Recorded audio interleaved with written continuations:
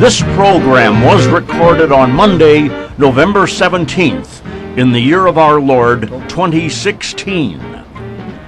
The opinions expressed by the participants in the following program do not necessarily represent that of this station or its management. or anyone else. From the John DeVita Recording Studio, located in an undisclosed and clandestine location on the great northwest side of our fair city of Chicago, we once again are pleased to be presenting yet another edition of our monthly roundtable panel discussion show, Meet the Chicago Historians. Now, here's the guy who started it all, John DeVita. Well, thank you very much, Rich. From the John DeVita Broadcast Center, ladies, welcome, ladies and gentlemen, to another broadcast of Meet the Chicago Historians on the Windy City Hometown Entertainment Network on Monday, October the 17th, the year of our Lord, 2016. Today, the panel will be talking about Chicago elections, the great and the odd. So sit back and enjoy Meet the Chicago Historians. And now to start today's broadcast, here is our announcer, Mr. Richard Lang. And now here's our panel moderator, Jack Red Ryan. Jack? Who's that guy doing with that rope over there? hey, everybody. Such a beautiful day today. You'd swear this was maybe May or you know, August, late August. Or, so beautiful.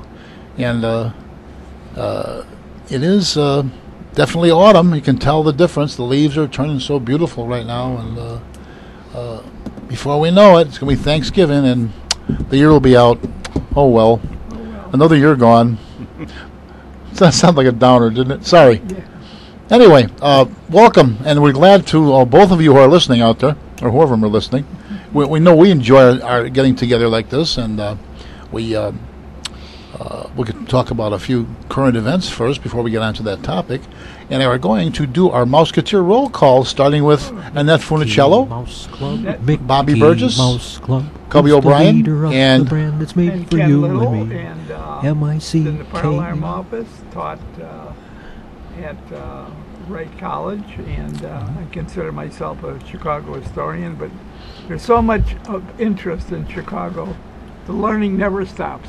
True. Not, not really, not really.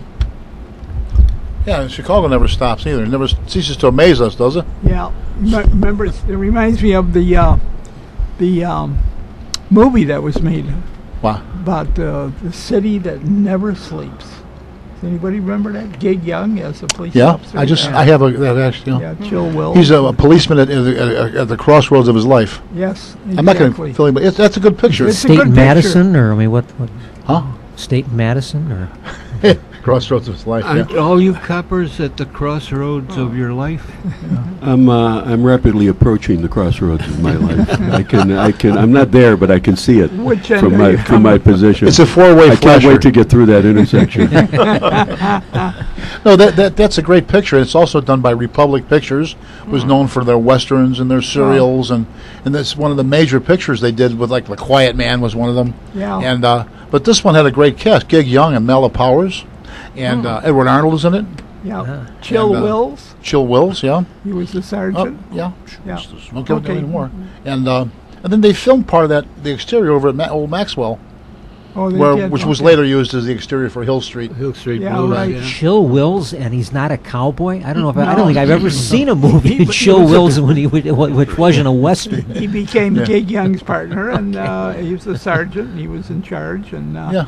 and they they uh, they they used some very authentic uh, Chicago locations on the radio, you know. Yeah. And uh, you know, you got a person down, uh, you know, Huron between Sedgwick and you know Hudson and stuff like that. Well, Well, that was before the projects too, wasn't it? oh yeah, oh, I think it was uh, shot around I don't know, 40, Fifty-four. 54. Yeah. So you don't see mountains in the background as you do in s- sometimes when it's supposed to be in Chicago and you can see mountains and Yeah, there's some mammoths. yeah, It was Yeah. good to see a movie about Chicago that didn't have Al Capone in it. Yeah. Yeah. one Yeah, yeah. What was the name of that movie again? I'm City, City that that never never sleeps. City that never sleeps. City That Never Yeah. Sleeps. Yeah, it's good. Thank you. It's good. That's a new one. Yeah. But, uh, Anyway, it's it's it's a kind of a cross between a noir and a kind of a like a Frank Capra Oh, okay. in a way, you know. It's Yeah. one of those film noirs. No, you're- Yeah, no, Film there's- noir. from- wherever that wherever that word came from, I I'm don't glad you mentioned that. That Yeah. uh, Well, well, the I- other one, the other really good Chicago-based movie based on the true story was called North Side Oh, yeah. Seven Oh, yeah. Seven. That's yeah, a- that, that's Jimmy just, Stewart. Jimmy Stewart. yeah, yeah. just uh, very good. Just a classic. Jimmy Stewart and uh, Lee J. Cobb was Lee J. Cobb was the uh, his editor, Editor. He's always good. Yeah. and uh, Yeah, Lee J. Cobb's a good actor. Very let's see, good actor. Richard That's- Conti, That's Richard one that'll live Conte. in history. Yeah. and there was um, let me think now. Well, there's a lot of a lot of your lesser name. You know, we don't know these names. Uh, You know, E.G. John, isn't John McIntire in that?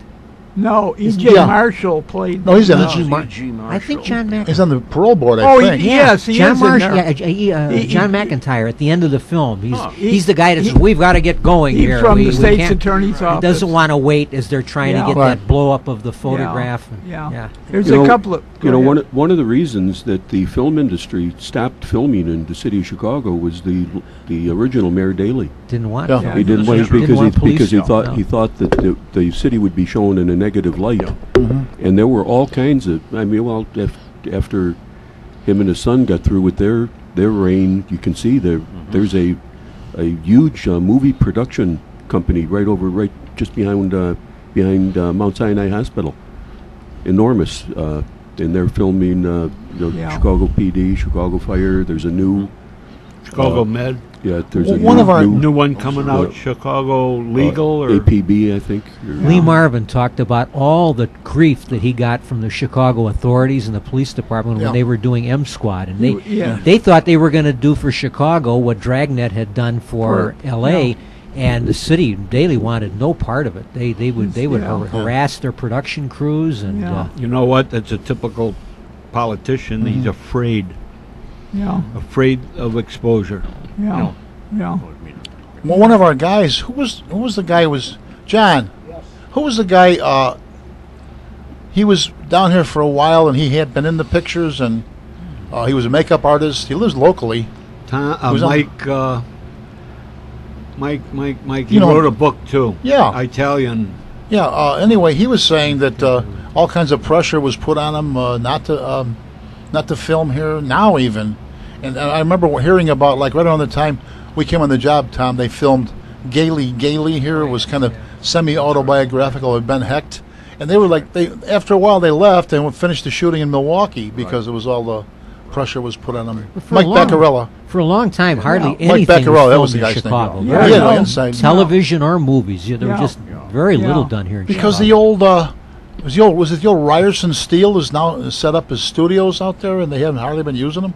That's it yeah. Ryerson? Uh, uh, yes. Yeah. On the- on the west side? s- Yeah, 16th and whatever. Yeah. Yeah, it's right, Washington, right, right behind uh, Mount Sinai Hospital. Yeah. Yeah.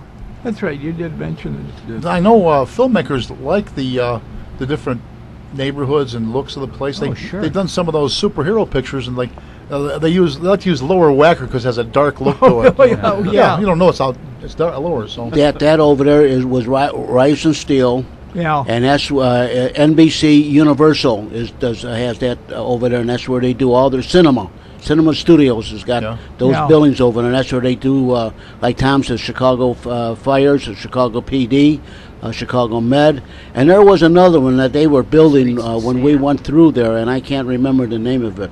Um, but uh, the fire commissioner, uh, uh, Commissioner Santiago, when the 511 Cl- Club was 60 years old, he arranged it for us to go through a, a tour uh, of, the, of the, all, the, all those studios in there. So uh, Dennis Aarons and myself and members of the 511 Club, we sat in the chair where Chief Boden sits. I, was, I stood behind the, the counter where the where the uh, cop, uh, uh, the sergeant is, and, and in that jail they have in out in there uh, in, in in the yards out there, and I went through that whole entire, and it's very very interesting.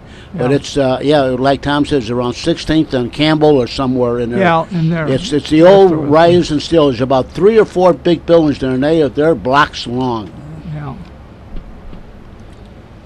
and uh, of course we had during the Byrne administration, No, yeah. Blues Brothers was there. Yeah.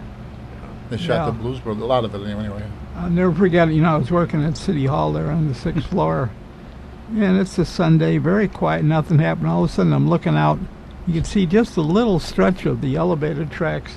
There was an automobile up there. I mean, does anybody remember the scene? They somehow got an automobile up on the L tracks and Well, they were chasing it or somebody was chasing it. did you think he was hallucinating? or Yeah, right. No, I. It's it's unbelievable what these movie companies uh, spend and and, Oh, and their yeah. their thoughts. When they were doing Backdraft here, I was assigned to That's that. right. Yeah. and uh, like like Chick is now with Chicago Fire, but um, they were going to do the the scene at the cemetery, and we have really we have our memorial statue there, and we have a memorial service every year and so forth, and uh, that statue is one of a kind Yeah. and so I had uh, uh, 110 the truck and that go over and clean up all of the goose crap off the you know off the monument so it looked decent and they fixed it up. I went to back to Ron Howard and I said we're all set for over there. He says, "Oh no, we're going to do it over in. Uh, we, we already have a spot over at. I keep calling it Waveland." Uh, You mean like Lincoln on- Park on, or? Clark and and uh, Oh, that G- cemetery. oh, over Graceland. there. Graceland. Graceland. Graceland. And I said, well, but our but our monument is at Rose Hill. No, we're going to do it at Graceland. Said, okay. Yeah. They spend fifty thousand dollars to create a monument, uh, kind of to match our real Yeah. one and that They could have had the and- real and one. all of the, uh, yeah, and uh, you know, one of the guys said, "No, we're going to do it there." Well, when it was all over, I asked Ron. I said, "Well, what are you going to do with that?" I was going to take it and you know use it over in the in the union office. we we had that big garage there. Oh, he said, "Yeah, you can have that. Go ahead and have it." Well, the next day it rained, and that thing was made out of paper mache and it was just one big blob by the Oh. time. But but that, and they they think nothing of Oh, yeah. spending money and No. you know, Pocket Well, change, huh? yeah. Our next contestant, Yeah. Next. Yeah. come on, Tom. Come in and sign in, please. Tom McKenna, uh, retired Chicago Police. And you, you were in Backdraft. Uh, yes, I was. Uh, we were in the funeral scene. That's why I still played with the uh, uh, Emerald Society pipe band. Oh, And uh, also a lifelong friend of our moderator, uh, and one of the few people that will actually admit to that. Get to it. Yeah. I remember one of your, your quotes about that. You guys were standing, you know, the band was there, and uh, Ron Howard, the director, walked by, and you said, "Hey, Ron, what's my motivation?" Yeah. right. Yeah. Everybody's a comedian. Yeah. I guess he's never heard that one. huh? no. Everybody wants to get into So, it yet. uh, next up, we have on uh, Rich. You've heard from me already. I'm your announcer, Rich Lang. I have a background in uh, history. Student of Ken Little's Chicago history class at Wright College. I did a little teaching of modern American and European history at a distinguished college in Nebraska. and I'm now active in a group that recreates old time radio shows. You've done anything lately, or? Uh, not so much lately, but we're booked to do in about a month. Of course, Who's on First? Oh, yeah. Oh. The classic radio Yeah. bit. Yeah. Who's on first? What's on first? I don't know. What? I don't know. Third base. now that's they, they said that's an old old bu- burlesque routine, Yeah. which was of course made famous by Abbott and Costello because they get it on, on film and on the radio. Yeah. And there is no there is no script to it No. because it's all how the how the uh, the straight man leads There's all you kinds around of it. variations, Yeah. a similar Yeah. script. Yeah. They just Yeah. Just Yeah. They, they, they did it. There's variations in the Abbott and Costello very much so. performances. Yeah. Yeah. He Yeah. says on t- TV, he says he doesn't give a darn, but he actually says I don't give a damn. Well, Yeah. I don't Watch give a that. damn. You can't say- you can't talk like that, right? No. I Real can't real say people don't talk that way. No. Hey, uh, Clark Gable did. Yeah. Yeah, that was, Right. that was supposed Only to be, once though. Wasn't that That was supposed a to be milestone. shocking when he said that? Yeah. They had they had a great deal of discussion as to whether or not he would use the, Yeah. that that word. Yeah. The one the alternative was frankly frankly my dear I just don't care. Yeah. That was the alternative. yeah. And Zero. They, Not the same they impact. decided that was flat Yeah. and they went with Then I give a rat's ass. around. I don't think that was one of the alternatives. I, I, I don't think David Selznick had that as one of the options. you know. But uh, Anyway, what movie was that in? Was it The Wizard of Oz? Uh, Uh, no, wasn't that? Was that in Backtrack? no, maybe it was. Uh, um, City that Oh, never sleeps. Gidget Goes Hawaiian. That's that, that was it. the- That was it. Yeah, Yeah. He said it. And the next Deb- up we Deborah, have- Deborah Walley to the. Yeah. Uh, and I'm John Escacholco, and I was in politics and government for a number of years as a state representative, town official, and had the pleasure of being part of the old WJJG radio broadcasting uh, experience. And glad to be here with Meet the Chicago Historians. Of which this group is really an Is outgrowth. a spin-off. Yeah. We are, yeah, we are. It's what, we are what, what continuing the Hollywood would call a tradition. spin-off. Yeah. Well, that's why I'm dizzy. I'm being spun. I didn't realize that. Yeah. Yes, sir. Yes, sir. And, and I'm Bill Kugelman with the uh, Fire Museum of Greater Chicago now. I spent uh, 46 years in the Chicago Fire Department, retired as a chief, and uh, then went on to be president of the union. And uh, was very proud of the things that we did. Uh, uh, I, uh, I too am very proud to be here uh, in this spin-off from Cop Talk, I guess you would say too. Yeah. And uh, uh, I uh, oh I do have something here. Uh, the Fire Museum of Greater Chicago at 5218 Southwestern Avenue this coming Saturday. We'll have an open house from 10 until 2, 10 a.m. to 2 p.m. Uh, everybody's welcome. Bring a camera. Uh, bring the kids, and uh, we will uh, show you what it was like in the good old days. The good old days. Good old days. Are you getting good turnouts for those open houses? Yes, yes, they have been good. I keep telling my daughter and son-in-law, you know, let's do it, let's do it. Yeah. Absolutely. Hey, Bill, if you're going to recreate the good old days, you better br- bring some beer. Oh, Oh. boy. Well, We don't have donuts though. Has brought back.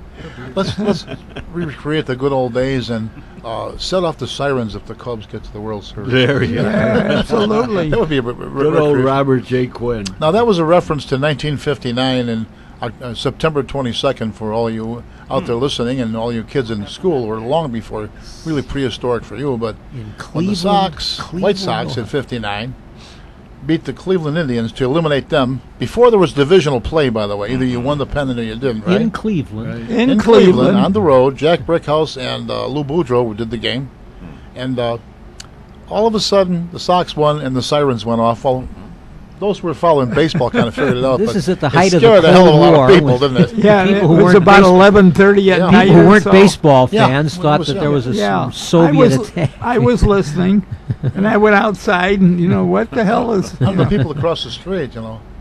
I understand, like, uh, Bill Boyd was our Explorer advisor. He said some family in their neighborhood, he lived in Austin, they were down in the basement saying the rosary, so. of course, that Irish family probably didn't every night. That's night because they were Indians fans. That, uh, yeah. Well, listen, if the Cubs do it this year, who knows? Yeah. Those sirens uh, may go off again. Who Yeah. knows? Interesting. Well, you know, I can say this objectively, and uh, I'm not a Cubs fan. I I think they're going to do it. It just looks like they have everything going. They're Yeah. they're they love what they're doing. They can't wait to get to the next game. Yeah. Everybody contributes. Am I, am I wrong? What do you think, Tom? Great. I, I couldn't agree more. All Yeah. the uh, all the planets are aligned properly. Ah. I every every so. hundred every hundred and eight years, Yeah. something, something like that happens. Yeah. Neptune is in conjunction with Pluto. Right. I, So I no, I, it sounds I like the dawning of the age of Aquarius. Or something. Yeah, I But, tell uh, you what, when when they won the other day, when they won the last time they won this area to go into the championship, I the first thing I thought of is, am I glad I'm not a copper working over in Wrigley? Field Yeah, yeah. Time. Oh my God, it had to be a riot. a pinch hit grand slammer. Yeah. How's that? Yeah. Yeah. Well, if the Cubs win, they could fire off a 21 gun salute, but the trouble is you couldn't tell any difference from an ordinary night in Chicago. Right. There's all kinds of sal- sal- salutes every week there in Chicago. Yeah. What do we have this week? This last weekend? What do we have? Forty-eight shootings and eight killings, Yeah, yeah, I think so. something like that. And there was some It's, snide. it's, it's, uh, it's unbelievable. If that if that happened almost anywhere else, you know, it'd be all, Big, it'd be big all news. any would talk yeah. Oh, about. yeah. Now you look at It's it, go, just routine. Oh It's yeah, just, yeah. seven more dead, forty. yeah. Yeah. okay, so uh, Yeah. nice, nice weather we're having. Yeah, right. I mean, Yeah. it's like you, you become Yeah, look at the yeah, new inured fashions. To it. yeah, Yeah. i- immune to it. Immune. Yeah. Yeah. I was What? going Uh, to say that Chi- what was the Los Angeles Times made a comment that you know going back to, to the Tribune, they're both owned by the Tribune. Tribune, so yeah. like, hey, how many uh, people got shot over the weekend? You know, that's, that's, Yeah. that's their comment about Chicago. Score. Yeah. Oh yeah, I was in New York City, and the coppers in New York Mm-hmm. City. The one guy said that's what the first thing they do in the morning: see how many people got shot and killed in Chicago. Yeah. makes them feel better. Yeah, I was just going to say, yeah. yeah. And why ultimately the difference between us, uh, L.A. and New York? Maybe the gang structure is so much heavier here. That's got to be part of it. Well, the, Well, the- the, in New York City, the demographics have changed so much, especially in Manhattan. I mean, from the, I hadn't been there in years, and uh, you know, people, you know, well-educated people that make a uh, a high salary, just aren't in the habit of shooting one another. And and I think you have to give credit to, to a great mayor, Rudy Giuliani, who Yeah. cleaned who that city was a Right. disaster before he became mayor. He cleaned it up with tough policies. Yeah. Bloomberg, to his credit, I'm not a fan of everything Bloomberg did, but to his credit, He- Bloomberg continued, continued it, yeah. programs as far as the Yeah. police, Yeah. and and uh, that was a dramatic change in New York. Yeah. Giuliani did a great job Yeah. at that Yeah. time. Yeah. Yeah. uh, Comrade De Blasio, Yeah. It's a different story. the, the, the, the preventive sort of proactive work that you do as a cop is the very thing that they're beefing about now, making stops and Yeah. the word, uh, what is it, uh, what's the word we're using, profiling now? Yeah. Yeah. That's the new police brutality. You, Yeah. But everybody profiles, everybody sizes someone up. Absolutely. It's the cornerstone of police work. Yeah. And, yeah. and, and they also make it sound as if the term, and I wrote something about this recently, I was writing for the Southwest News Herald, the term uh, stop and frisk, it's not a new, that's been around for many years, and courts have upheld Forever. yeah. yeah, upheld that that was a, a legitimate uh, uh, function of the police to, you s- depending on, cir- obviously obviously the circumstance, let's said, uh, broad daylight, one thing, uh, if there's a bunch of kids walk out of an alley at 2 in the morning, uh, you're, you're bound to check them out. You're around here? What are you doing out here? Yeah, are you sure. of age? You know, Yeah. et cetera, et cetera, It's got to be a Yeah. snap judgment. You have Right. on the spot. Even Marshall Dillon did it. Well, they didn't get many anybody Hmm. messing with people like that. You know, questioning them. No, it's, Not even it's- Chester. This stop and frisk Mr. thing is Dillon. uh, something that should be happening, and uh, uh, it, uh, you, you you did say it right. It's like a dirty word anymore. Yeah, Jack. yeah. yeah. And you know the, the the people that are in favor of aggressive police procedures are the people that live in those areas In the where high all this crime gunfire. areas, is. sure, Right. Very yeah. much so. So John and I, will to any police officer will tell you, in these high crime areas, when we when we were there, I mean, if I had a dollar for every person that came up to me and said, "Glad to see you around here, officer. Yeah. Come around here more. Yeah. It's terrible out here. I can't walk out my front door. We Yeah. we like to see you. I mean, I'd be able to take a nice vacation somewhere. They Yeah. liked us. So all this this uh, media negativity about the police department, it just doesn't exist. And it's very frustrating to police officers because they're constantly bombarded with this negative image. But when they actually go into the neighborhoods and these areas, these high crime areas, the police get along very well Yeah. with the uh, citizens. The, Yeah. the law-abiding citizens. Yeah. Right. They don't get along with the gangbangers. Yeah. And they never talk to the law-abiding people. Those who are victimized all the time. I don't know what uh, what you guys think of this uh, new commi- uh, superintendent, but uh, I was very pleased to see him after this uh, uh, female uh, copper was was uh, uh, harassed and and uh, Brutalized. put her in Got a concussion, uh, huh? concussion Yeah. and put her in the hospital. About what he said about uh, Yeah. why she Yeah. did not shoot the guy. Yeah. She was Yeah. afraid if she used the firearm, she would get into trouble, and Yeah. she, she was Yeah. concerned Yeah. about herself and her Yeah. family and all That's the grief right. she would get. Yeah. So now she wound up severely. Yeah. Yeah. She may never come back on Yeah. that job. Yeah, Yeah. it's a shame. Yeah. No, he uh, he did a good job there, uh, uh, bringing that up Yeah. And in the way he brought it up. I like good. everything he's done. Yeah. Truthfully, I'm not a, you know, I'm sort of Well, neutral. like I, but well, like I said, with the news media, you know, it's it's it's frustrating to be dictated to by people that have absolutely no idea what they're talking about. yeah, These people, they've they've never lived in a black neighborhood. They've never worked in a black area. They have nothing to do with the, you know, uh, uh, any any anything related to what they're talking about. But they, but they constantly talk about it like they actually know what they're doing. And it's spreading out of those Right, neighborhoods. And like too, I say, while, while while police officers are being bad-mouthed, as those people are bad-mouthing them, there are white police officers in black communities having a very positive interaction Sure. with one another. yeah. And it is totally and completely ignored. Yeah. That's yeah. The media. They don't They're right, not they talk don't, about that. right, yeah, don't confuse me with the facts. that No. doesn't You know, sell my, papers. Yeah, my, Yeah. my mind is made up. White police officers are racist. And as they are spouting these falsehoods, white police officers are interacting with black people positively. Yeah, Do you know anybody sitting around who might have done that ever? Yeah.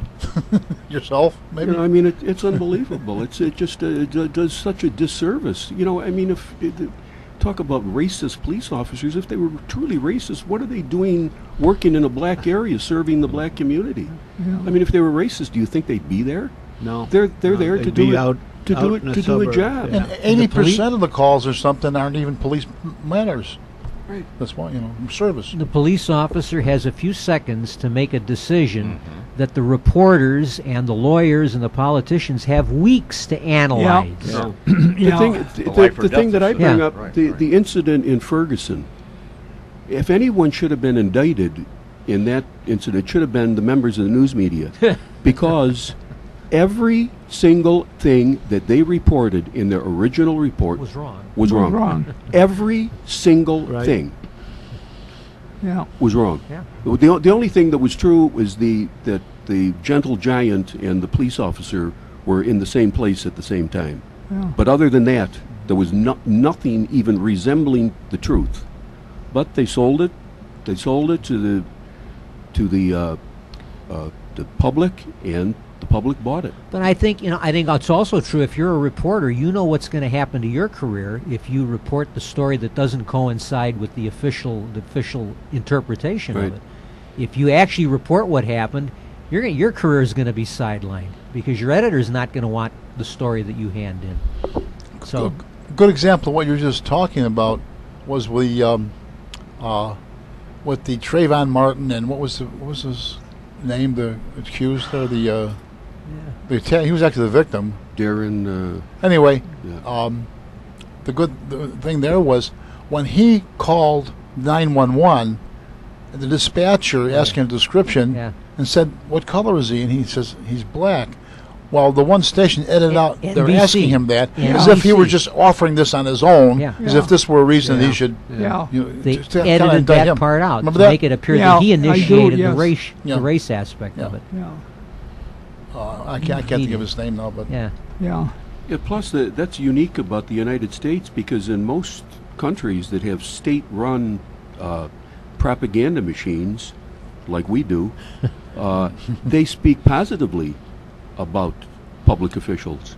We're, we're the only one that has a state-run media and speaks negatively about About, police. Right. Yeah. if depending on which ones you are, on, which which side of the fence. Tom, I'm glad you uh, brought that uh, sign from New York that uh, that I think should now go out to every police vehicle in the city of Chicago. That there's a twenty thousand dollar reward for anyone that shoots at a Chicago police uh, officer, and uh, it's it's certainly helped in New York for the last All thirty right, I, years. I agree. That, that's what I Yeah, tell people. yeah. I said if, if somebody is going to shoot at a uniformed officer or someone that they know, in fact, is a police officer, with total disregard and disrespect, what do you think they're going to do to you?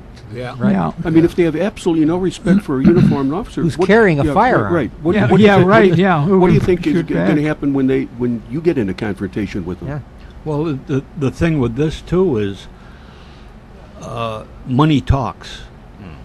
And and when when somebody sees that twenty thousand dollars or ten thousand in New York, uh, they're they're liable to come up with the information, positive information, and, and, and do it. We've already given uh, twenty thousand to the person that that uh, told us about the guy that shot Mike Flicks, Flisk, and uh, you didn't see anything about it in the paper or anything. You know, people don't know about these things, and these are things that should be Yeah. should be out there. Yeah, yeah, oh. yeah. Now for a brief intermission. You've been listening to Meet the Chicago Historians. We'll be right back.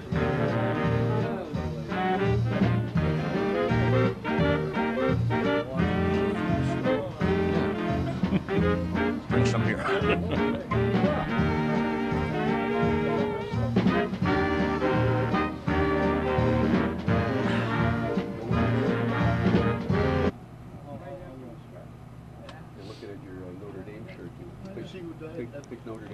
Friends, are you looking for a place to have some printing done?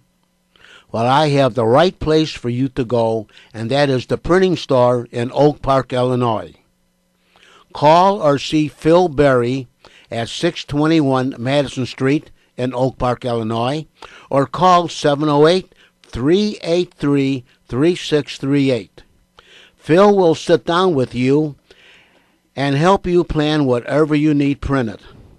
Now, his products are brochures, booklets, business cards, catalogs, envelopes, letterheads, flyers, invitations, newsletters, notepads, menus, mailers, manuals, labels, posters, postcards, price lists, NCR forms, sell sheets, table tents, pocket folders, and presentation forms.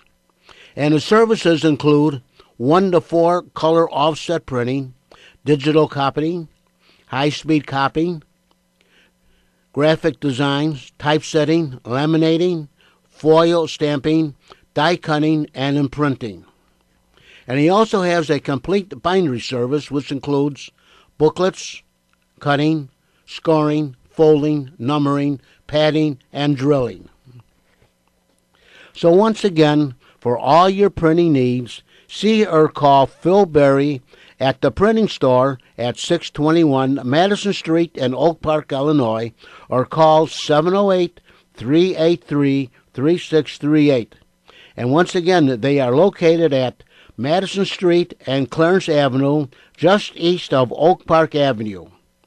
And it's at 621 Madison Street in Oak Park, or call 708 383 3638 and ask to speak to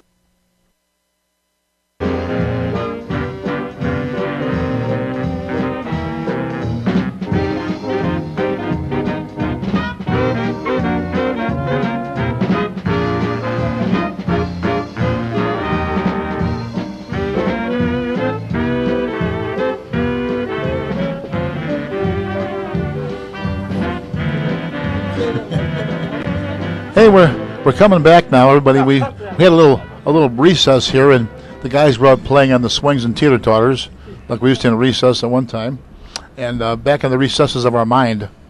So, anyway, where were we? You have a Oh, I- that has a recess. I I haven't introduced myself yet. yeah. Do I have to? Here Yeah. we go. Get your boots on, fellas.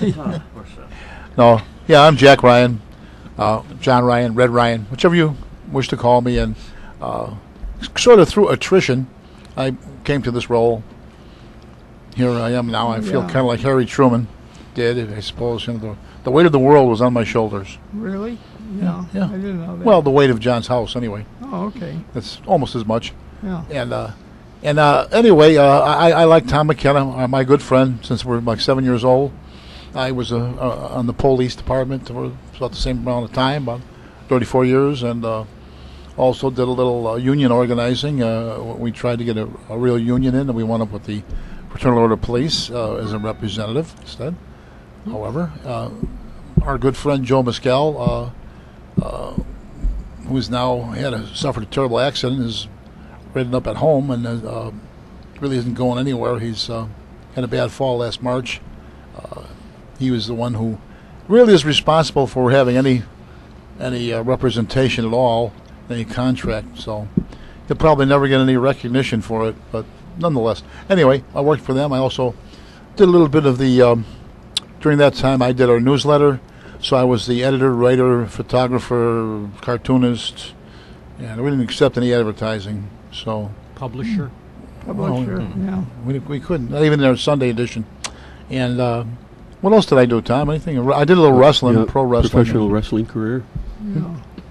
Your professional wrestling career. Yeah, I did a little uh, wrestling. I was one of those guys, you know, for about seven years part time. I know we had a new commander come in when I was working in Chicago Lawn. John Corliss had been the commander, and he was replaced by. Um, keep forgetting the guy's name. Shame, you know. Barney Miller. Are you talking about? Uh, Probably not. Yeah, I'll think of his name about three in Hollinsworth. Yep, yeah, right. James Hollinsworth, right. Oh, okay. Anyway, he was came from the youth division, and and he says to me one day, "Oh, I hear you did some pro wrestling, huh? Uh, wha- wha- what was your what was your name? What did you weigh? What did you wrestle?" And he says, "Is is, is that stuff on the legit or what?" And I said, "Well, put it to you this way, Commander. It's the second phoniest profession I was ever associated with." And he says, "What's the first? and it was was serious. So Yeah. anyway, some people are that away. I was just making it funny. Come on, laugh, guys. Remember that in uh, what was it uh, with Jack Lemmon and the Great Race, where the one prince would raise his Uh, hand yeah. and then down they go. anyway, that's kind of like it was. Wasn't that the way it was with Stalin? Uh, Oh, yes. Yeah. they, they, they were afraid Yeah. not to. Why does the the applause? chicken cross the road Yeah. to get to the other side? Oh,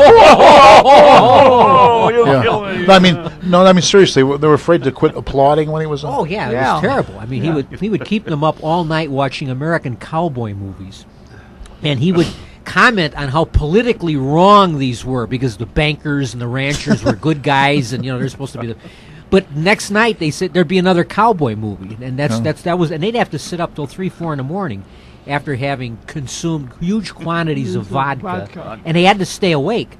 You know, God help you if, if, you, Probably if you dozed off. Ask questions, yeah. they were well trained. Well, Yeah. They and they would stagger home to their to their own dock. this is like Khrushchev and Molotov and the rest of them. They would, you know, they would be driven home at four thirty in the morning. So, do, do you think Molotov had a few cocktails then? Or? I think he may have. Yeah. Boom. It's funny. I I understand at one time Stalin was a bank robber over the. I think it's very yeah, when he was with very young revolutionary. Stalin wasn't his name either. No, it No. was Jugashvili. Yeah, d- He was Joseph- Georgian. He's Georgian. Joseph Russian. Vissarionovich, son of Vissarion, Jugashvili. He changed his ah. name to Stalin, which means full of steel. Man of Steel. like- yeah. And Hard Time, guy. Mag- Time magazine actually called him the Man of Steel in the 30s before Superman had been created. Oh, You will see that reference in, Yeah, in yeah. Time magazine. They called him the Man of Man of Steel. Steel. Some of them said that Jugashvili meant man of Jugash. oh. That's why. That's why he didn't want to use didn't want to use that term. That's like Dracula. He was from the town of Lugos. It wasn't. Oh, Bela Lugosi. Yeah. yeah, right, right, yeah. I don't know what his real name Yeah. was. Be- I think it was Bella, but uh, Yeah. Kind of like uh, uh, Luca Brasi from Luca. Oh, never mind. like this. There's, But, a, uh, there's a joke about Stalin.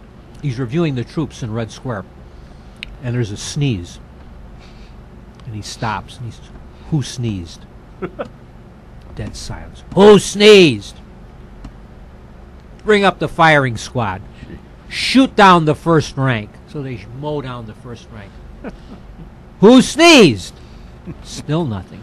Shoot down the second rank. They shoot down the second rank. Stalin says, Maybe now the man who sneezed will admit it. So from the last row, a hand.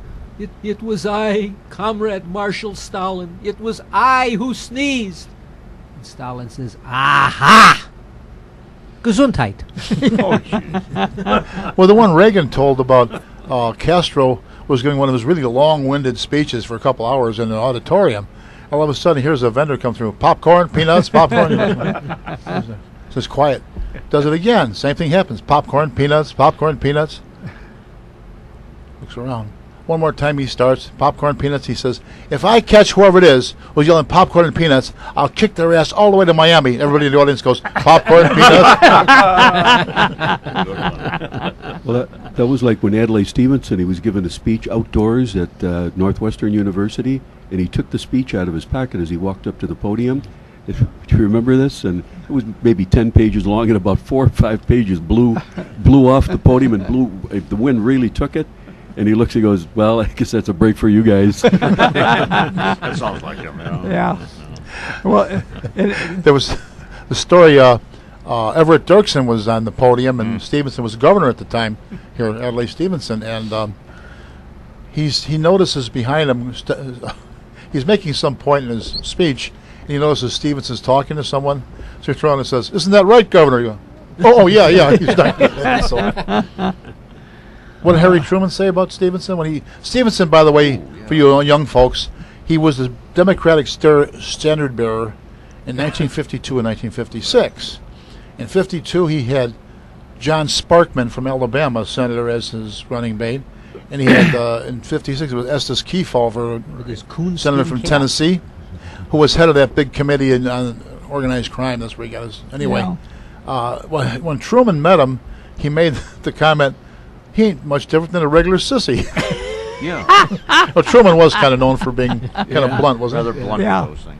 You know what? So everything he said sort of made sense, though. You know. Yeah, that's I- why. I- you know, From the he- buck stops here. all buck- those- oh, He yeah. had common sense, Yeah. Isn't that what? Uh, which is lost. Isn't that how why uh, Trump won his won his uh, his uh, primary over everybody else? Speaking plainly, Yeah. what nobody else seems Yep. to want to do up there. Yeah. What, what's on people's mind, really? That's Yeah. what why Rush Limbaugh has been so successful, because he's saying what we Yeah. Think. Are and, the, thinking. and the mainstream media can't figure it out. Yeah. They just can't. They just cannot figure it out. As I said earlier, that because they don't go anywhere where the average person they, they don't they, they live in their own little s- Cocoon. little Yeah. subculture. Yeah. You know, and, and everything everyone thinks the same way. You know, they just can't believe it's like, uh, you know, what did Hillary say? I can't Well, the- the believe way- why I'm not winning by. yeah, by fifty percent Yeah. or something. She- she 50 can't- points. She yeah, should be fi- I should be winning by yeah, she 50 can't- points. She can't get it. That's the real her, by the way. Yeah. Uh, and the people in the media took the way they think. We should be conforming with them, not vice. They shouldn't be listening to us. Yeah. Right. Yeah. We, we commoners, we what? What are we? What do we? Would you call it? Uh, serfs or what? What do they call us? Come on, come on, the word. Peon. Pay, pay, that's that's the it. word. You Peon. Yes, you, you, you, you, you. Uh, oh well. Let the let the listeners. Yeah, uh, there a whole bunch of words like that. You, you. they'll figure it out. Yeah. So anyway, where were we? Harry Truman. okay, Harry getting back to it. Truman. Okay, we're talking about a little uh, Chicago elections. You want to get into that a little bit? Any any funny election times you remember here locally? John Koshelko, by the way, recovering politician. We must tell everybody, right? I You had about that. I'm, I don't know if we well, you, you were. I'm sorry, you're an office holder. You were never a politician, were you? Well, you know, they, they, all- they sometimes say a statesman is a, is a politician who is retired. Yeah, supposedly successful. So, no, I, I guess the most celebrated election in Chicago, I would imagine, was 1960 when, when John F. Kennedy carried the state of Illinois by 8,800 votes. Mm-hmm. And Nixon in that election lost in, lost narrowly to, to Kennedy. Kennedy nationwide had a margin of about 100,000 popular votes over Nixon. The Electoral College was was was 303 to 219, I think. But the interesting thing is that if if Nixon if Nixon had carried Illinois and Texas, he would have won the election. wow. And Illinois, as I say, 8,800 votes. There are those who believe that that fabricating 8,800 votes would have been child's play for the Yeah. for the Democratic machine in those days because it was, it was all paper ballots. Yeah. And this was in the heyday of what were called the river wards, where they could generate, they could crank out as many votes as were necessary. Yet many made the point too that maybe Nixon's people downstate were interfering with ballots as much as Daley's people up north. They they You- made you the but the the problem is that the the opportunities. I mean, you, you didn't have the the massive nature No. of you know. Mm-hmm. Twenty five hundred precincts, I think, in the city of Chicago. Yeah. So Yeah. Texas, he Texas Nixon lost by about forty five thousand votes. Now, whether they could have stolen 45,000 votes in Texas, I don't know. There was, Texas politics in those days was as corrupt Oh, yeah. Yeah. as Cook County. And Lyndon Johnson was elected to the Senate. They called him Landslide Lyndon because of. Yeah, uh, he, he, he won by 87 Yeah, votes, and there were 3 million cast. Right. They stole the ballot. They stole the ballot boxes in this one West Texas county. There's a picture. Yeah. There is a picture of, a, of an old pickup truck with four or five guys there, Yeah. with overalls, and, and there there's the ballot They box the sitting on the hood of the truck like a like a stag that Yeah. had been shot and was being displayed as a trophy on the on the hood of the car. But again, whether they could have stolen 46,000 votes, but the, but the change of Illinois and Texas, and of course Texas was Lyndon Johnson's home state, would have given the election to Richard Nixon in 1960. And it's, I mean, it's, I don't think there are many people who doubt that it is quite likely that Illinois, at least, was stolen Yeah. at that time. Well, Ed, Ed Burke tells a story that he ran into one of his former constituents, a woman that moved to Indiana, and she was in her 80s, and she said to him, uh, Eddie, when I die, I want to be buried in Chicago because I want to stay active in politics. Oh, that's a good one. Do you remember uh, Marty O'Connor was a reporter for WGN television? Not Len O'Connor now. He was like an ins- he asked uh, Yeah. he asked Richard J. Uh, can we go out and dredge those elect those voting machines out of Lake Michigan to see who really won the election or something? He's the, also the one who complimented the fire department on keeping the uh, the lake from burning with the McCormick Place fire. Remember? My You know, it's funny that that in in the news today, and we're talking about the the media and and uh, how they just don't see what the real truth is, what the facts are. Don't let uh, you know that old saying. Don't let the facts, Facts get in get in the way. in the way of the yeah the truth. But it's Trump has got three, four times the followers at his meetings or Yeah. whatever you want to call them. The rallies. She has trouble Huge getting turnout. hundreds, Yeah. and and yet And she, the and she- polls are Yeah. she's way ahead of him. yeah, know, and- uh, uh, and, and she- Well, there's a Washington Post poll out today which has Hillary leading Trump by nationwide, likely voters by four points, which is what they call the margin of error. Yeah.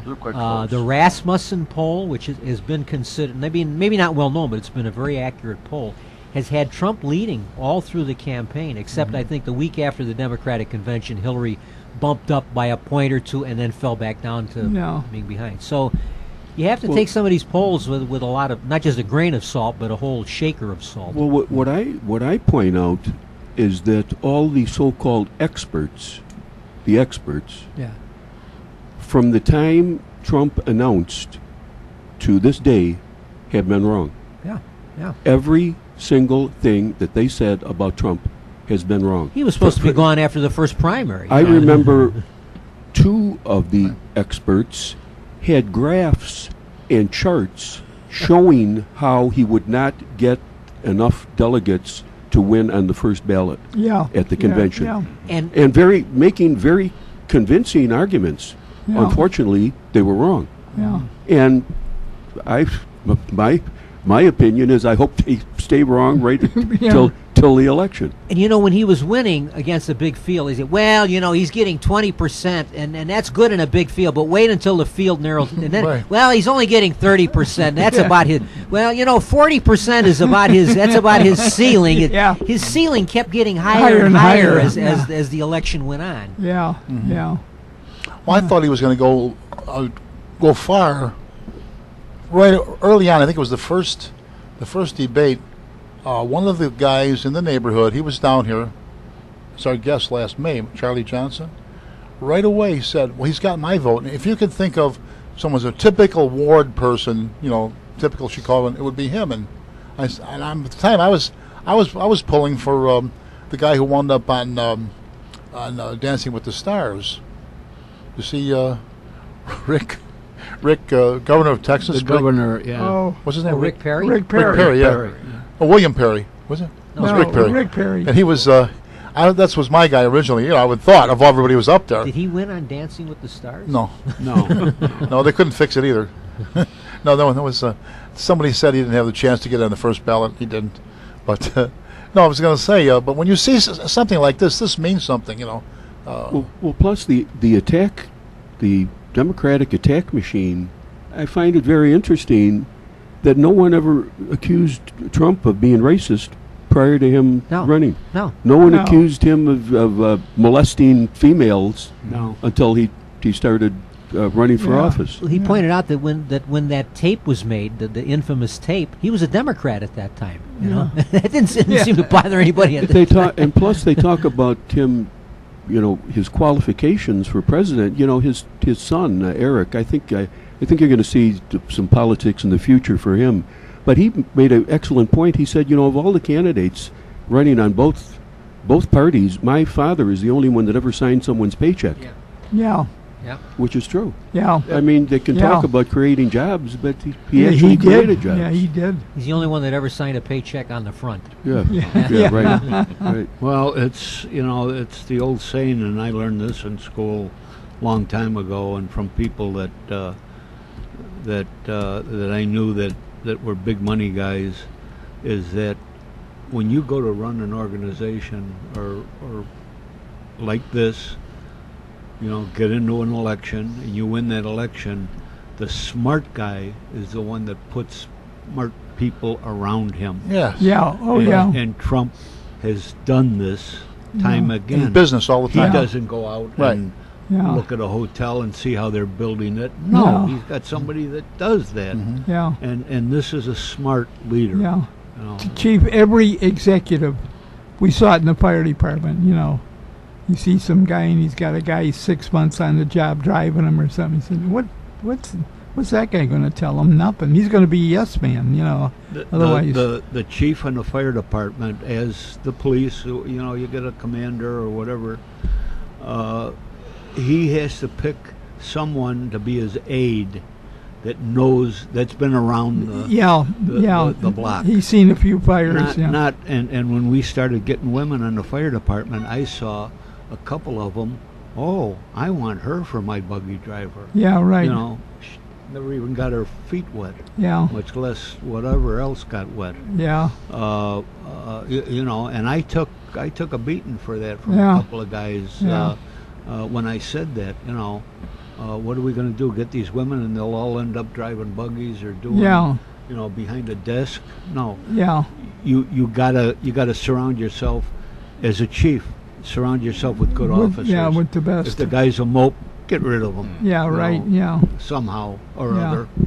And that's where all the political crap interferes with it. exactly. Yeah. there, exactly. there are Yeah. tens of millions of people in this country who are registered to vote who never vote. Yeah. Not even for president. I was a precinct captain. I know there were people who came out for every election school Yeah. board, park district.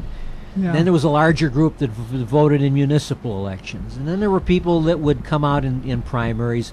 But the big turnout was when you get to the general election, and the biggest was for president. President. But even for president of the United States every four years, there are a lot of people who don't vote. Vote, and if, yeah. if, if, if those people, if, if even a fraction of those people are motivated this time to come out and vote for Trump, Yeah. it could throw all these polls Right. you know, in- Yeah. into a cocked hat. You know, one of the best uh, inducements I think for voting. I, I forget where I saw it in a, a paper. It was a it was a a full page ad, and it said it was on election day, and it said today. Do something that millions of people around the world only dream Oh, about. yeah, Vote. yeah. They wish they could do it. They wish they could do it. Yeah. Well, I got Yeah. some relatives. I'm glad they don't vote.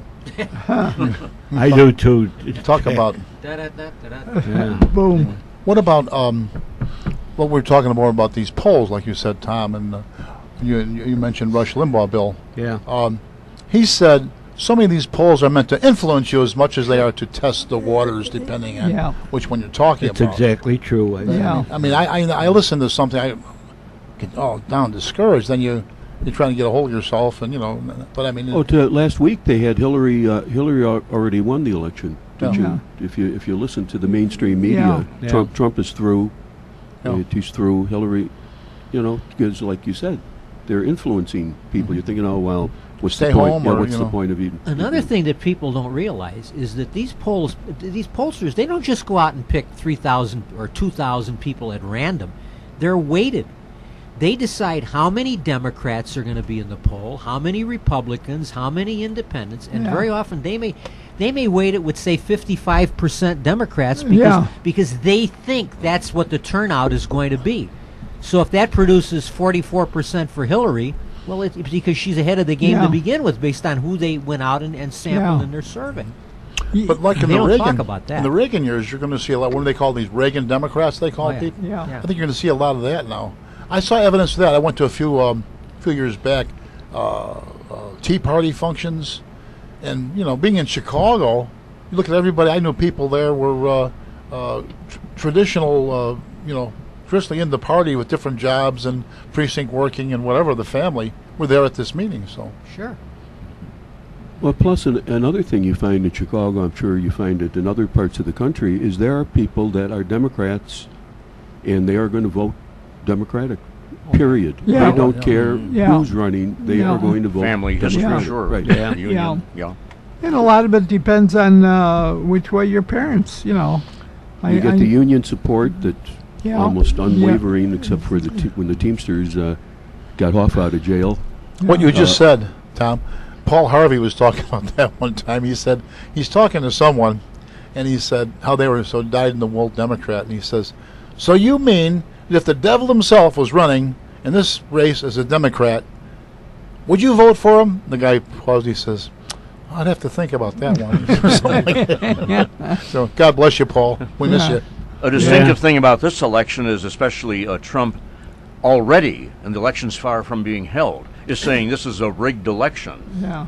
which I can see his point up to. But And- the vast majority of states are Republican legislatively, so you wonder what he Well, has his plus problems with a lot of it's- Republicans. The thing of is, it's it's mystifying that certain groups of people vote consistently for a Democrat. Uh, b- uh, black voters being the, the most glaring uh, group because Example of by that. every measure, Right. blacks are worse off under this president than under the last president. By every single Same measure, I don't care Yeah. what measure you use, Yeah. household income, educational level, unemployment, you can go right down the list. They're worse off, but they v- v- vote consistently. As a matter of fact, I think that was a pretty good message. The Trump said to him, "Hey, what do you got to lose?" Yeah, You know? sure. And the media didn't like that. No, they, they, mocked they that. Kept Yeah. mocking that. Yeah. When, when Trump says that the election is rigged, he's mainly talking about the media. I mean, he's not not he's not emphasizing like saying there's going to be uh, vote fraud at tampering the with ballot. ballots or something No, he that. said there. He, he sounds like said he said there may be some. He's concerned about some of that, but his main thrust is that he said it's two on one. I'm not just facing the Democrats. I'm facing facing the whole news industry as well. The whole media is against Yeah. me as well. Yeah. And that's that's the main thing he's complaining about it being rigged. The, I mean, the way they cover. Right when right and and they they cover uh, White House news releases as as like factual when it's Oh, yeah. cha- when it's shaded. Oh yeah. I mean they they re- to talk about the the, the propaganda the the the uh, state-run media. Something's issued from the White House and it's read like this is orthodox. Yeah. I Yeah. heard Kaine this morning, uh, Hillary's running mate, when they asked him about these all of these uh, WikiLeaks reports, and he's well. he's, You can't you can't put any stock in that. They haven't been authenticated. Who's authenticated them? I thought, well, who's authenticated all these accusations against Trump? All these Yeah. women that are made. Who's authenticated that? Yeah, yeah. Well, I mean, they also they haven't had disclaimers either, isn't? I don't know. You know, that's all made up. That is, Yeah. you know. Yeah. But Plus, it, I, you know, again, he's not a politician, so he says things that politicians wouldn't dream of saying. yeah. As a matter of fact, the one woman he made the comment, I, I wouldn't, I wouldn't have anything to do with her, not, not, not her. You know, it's Yeah. like you, you Yeah. think, you think I'd have something to do with Take this a look one? at her. Yeah. Yeah. right. We're a Poli- politician and never say that. Politicians learn to answer questions without saying anything. They, Yeah. they, they just talk a lot of political speak, and on, on the one hand, we Yeah, yeah. but then on the other hand, Right. and so we must, you know. And you realize at the end they haven't they haven't said anything. and Right. they haven't Right. answered It's the a technique. question. You learn how to do this. Yeah. Right. And Hillary's Hillary's very adept at that. Another thing, like I say, our, our black neighbors could benefit from was a little examination of history. Uh, following the Civil War and Reconstruction, up till I believe the New Deal, black voters traditionally voted Republican. The party of Lincoln. Uh, in our our own city, Sure. we had uh, a congressman, Oscar DePriest, the first congressman, black congressman elected outside of the Reconstruction South to the to the Yeah. to the to the uh, House of Representatives ever. Yeah. I worked with one of his great nieces in the police department. Guess what? A Republican. I was believe Republican. Martin Luther King Sr., the father of Martin Luther, was a registered Republican. Mm-hmm. I think you're right, John. Yeah. Yes. Yeah. Yeah. Well, sure. uh, Clinton, I forget, uh, his mentor in Arkansas was a Klan member. In, Oh, yeah. In, in in those days, you know, in the South, you you almost had to be a Klan member to J. get William elected. Fulbright, who Fulbright, voted, voted right. against every civil rights Right, bill Fulbright, that ever came yeah. ever came to the Senate. You you had you had to be a member of the Klan. You couldn't get elected. Excuse me, gentlemen, it's time for another intermission. Gentlemen. You've been listening to Meet the Chicago Yeah. Historians, and we thank you for it. Who is he we'll be talking right back. about? Gentlemen who came in.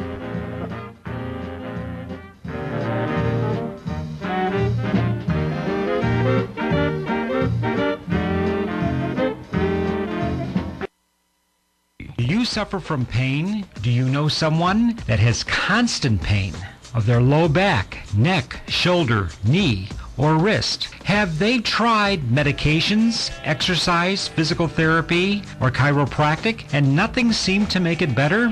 Well, I may have your answer. Why not try a napropath? Hi, everybody. This is Dr. Wayne Chickowitz, and I've been practicing 30 years treating pain.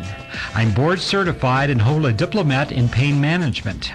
For your convenience, we have two locations in Cicero, 3602 South 61st Avenue, 708-656-7000, or in Villa Park at 122 West St. Charles Road, Suite 1A, 630-833-4007. Why not try a napropath and stop the pain today?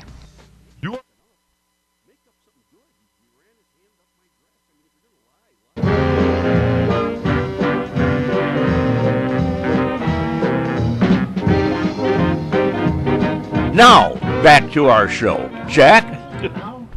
Now, right now, National Organization of Women? No, not that one.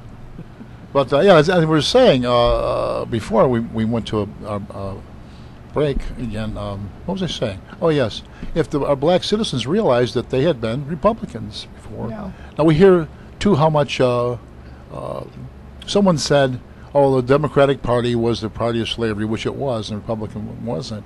And heard someone say, and a, some politician in a speech said, "Well, that's all been reversed, whatever that's supposed to mean." So this has all been reversed now. What do you mean it's been reversed? and then people just, or the commentator just takes that as, as fact or factual. Even You know, a couple of couple of months ago, I had to go down to Springfield and testify for that thing that they're having for my son. And and when I got out of there, the trooper that was driving me down there, uh, a very nice guy. I I just I looked at him. And I said, Mike, I am so glad to be out of this business Yeah. again. Yeah. When I was the, you know, Yeah. a- and uh, even uh, not the president, but uh, even before that, and, Yeah. and after, I just I had it with those politicians down there. Yeah. Uh, you know, I uh, we we had a couple of firemen die in uh, on the East Coast, and we went to uh, their service. And who shows up there but Gore and Clinton and that? And the guys were, oh God, can I want to go in there. I want to go in that room. I said, and do what? Yeah. You don't have a gun on you. Yeah. You know, you can't do that. I said, I, I don't even want to shake hands with them. Yeah. Uh, you know. You know, a good example of politicians, you know, depending their their feelings depending upon which way the wind is blowing. An analogy that I like to use is the Gay Pride Parade. Of course, now it's the Pride Parade. Uh, when that first stepped off, I don't know, what is it, 25, 30 years ago now? Yeah, at least, about that, Um, There wasn't a politician that would get within six Yeah. blocks of no. that parade. Oh. yeah. Now they're bumping their heads together to get in the They get in the in, front yeah. they realized because a it lot turned of money because and it a lot turned of into votes. A lot of because votes. it's a, a voting block. Yeah. Yeah. Like I said, if there was a big enough boil sucker vote, and there was a boil sucker parade, politicians would be leading. You know, and I personally uh, have never sucked a boil, but I know my friends are good boil suckers. I mean, really, it's poli- is that true? it's po- Wow. poli- politicians. That- Which, if the if the wind is blowing that way, that's Yeah. the way they're going to go. Exactly. Another thing along the lines of what you said, everything is reversed. you know, Southern white voters, Southern whites, they were just wonderful people back in the 30s and 40s when they were voting for FDR and for Harry Truman and even into the 50s and for mm-hmm. Kennedy. When they started voting for Nixon and Reagan, they suddenly became bigots. Right. right. Southern whites suddenly became awful people. They became they were just bigots and racists. Now, it's the same people. Right. Yeah. Right. You look, the southern states were universally Democratic for decades, and that was great. Oh, that was wonderful. It was the solid South. Boy, John, that was terrific. John, prime example, Bernie Epton. When Bernie Epton uh, ran for mayor, Yeah. Bernie Epton was known as the liberal Jew from Chicago prior to his election, prior to his candidacy. Then, as soon as he became a candidate, he became a racist, like overnight. Uh, He, I, I talked to his brother, the, the judge. He said it, it really hurt him. I mean, it was like, and, uh, John, you probably knew, you probably I knew was just him. gonna say, like Lloyd Bentsen in the debate, I Right. knew Bernie Yeah, Epton. right. Bernie Epton, wa- he was No. he was a friend of mine. I can't claim that, but I did serve with him for two years. Bernie Epton was one of the nicest guys that you would ever meet. He was a terrific guy, and I think universally liked and respected. Mm-hmm. Down even even when he had the reputation as a liberal, conservatives liked. I was a conservative. I- everybody liked Bernie Yeah. Epton because you knew he was a man of conviction. He was genuine, correct? He was, yeah, he was a man of real. principle, That's a good way. a very, an extremely intelligent, extremely well-educated, knowledgeable guy. And as you say, all those years of being of being just you know wonderful when he was a liberal, suddenly. When he ran, when he ran in, in the mayoral race, he became a bigot, Yeah, you know, that, filled with and that, hate. that hurt him. Yeah. Yeah. Yeah. Yeah. I remember uh, he got up there and Harold Washington started talking about Reaganomics, which was- didn't have a hell of a lot to do with the mayoral race. It kind of threw him. I remember that part. I remember once I was I was making my, my drive to Springfield, and I knew exactly I had calculated on the on the odometer exactly where the midpoint was, and there was a little farm there. It was in it was in uh, one of the downstate counties, Livingston County, and I would always pull off the road for about ten minutes, you know, and just and just get out, take a walk, stretch. And th- th- look at the look at the uh, the fields. Water the tulips. Yeah, it was. I, I love the country. Well, I'm there parked, you know, I'm, and I'm behind the wheel, and another car pulls up beside me and rolls the window, and it was Bernie Epton. And he says, "Are you all right?" Because he saw my legislative plates. Yeah. He's, I said, "Oh, I'm fine." I, saw, I always stop here and take a break. I says, "He's, oh, I just, he's, I saw your plates. I just wanted to make sure you were okay. That you weren't having a. I mean, that's the kind of No, guy. that's Yeah, that's yeah. really something. Somebody yeah. else would just, you know, I'm, Yeah. I'm got, I'm headed to Springfield. That's, I'm not going to waste time to see what this guy's Yeah. doing. Yeah. What was That his story was after he was defeated? Was he de- be, went out of politics? Uh, He was. He actually was retired, wasn't he? Yeah. Yeah, because he had. Well, I think he was eventually eliminated by the, the way with the cutback when they when they did away with the multi. Because he was a remember he was elected from the city of Chicago Yeah. as a Republican. So when they did away with the three-member districts, where you had the minority member, you'd have two Democrats. Yeah. He he, all those city Republicans were all eliminated Yeah. after that after that 1980 election. So Yeah. he. He, he did not go back in 82 just as I did not go back in 82 because my district was, was cut up. Now, what we just said, what you said, Tom, uh, what you said, uh, John, John Superman, Notice Koscielko, uh, Rich, Bill, Ken, Sal, Sal. hi Sal, Julius. John, Red, Jack. Okay, Ulysses. bye. No, what you just said about um, uh, Epton having this reputation. What would that that primary have been like, or what would the election have been like? Have been Epton versus Richie Daley. Who would have been the the uh, the liberal, the everyone's friend, and how would have been portrayed differently? Would you think there might have been a little bit of a different uh, portrayal there? The lakefront liberal and the you know. I think still the fact that he was one, he was a Republican. I mean, Yeah. that's what it. No, what I he was a mean is Republican. the He- he- he was- was, going to be the villain. He was he was bound to be the villain. Yeah. Yeah. Yeah, Well, we vote on that one. hmm. I, I, I don't know. I don't. I don't really.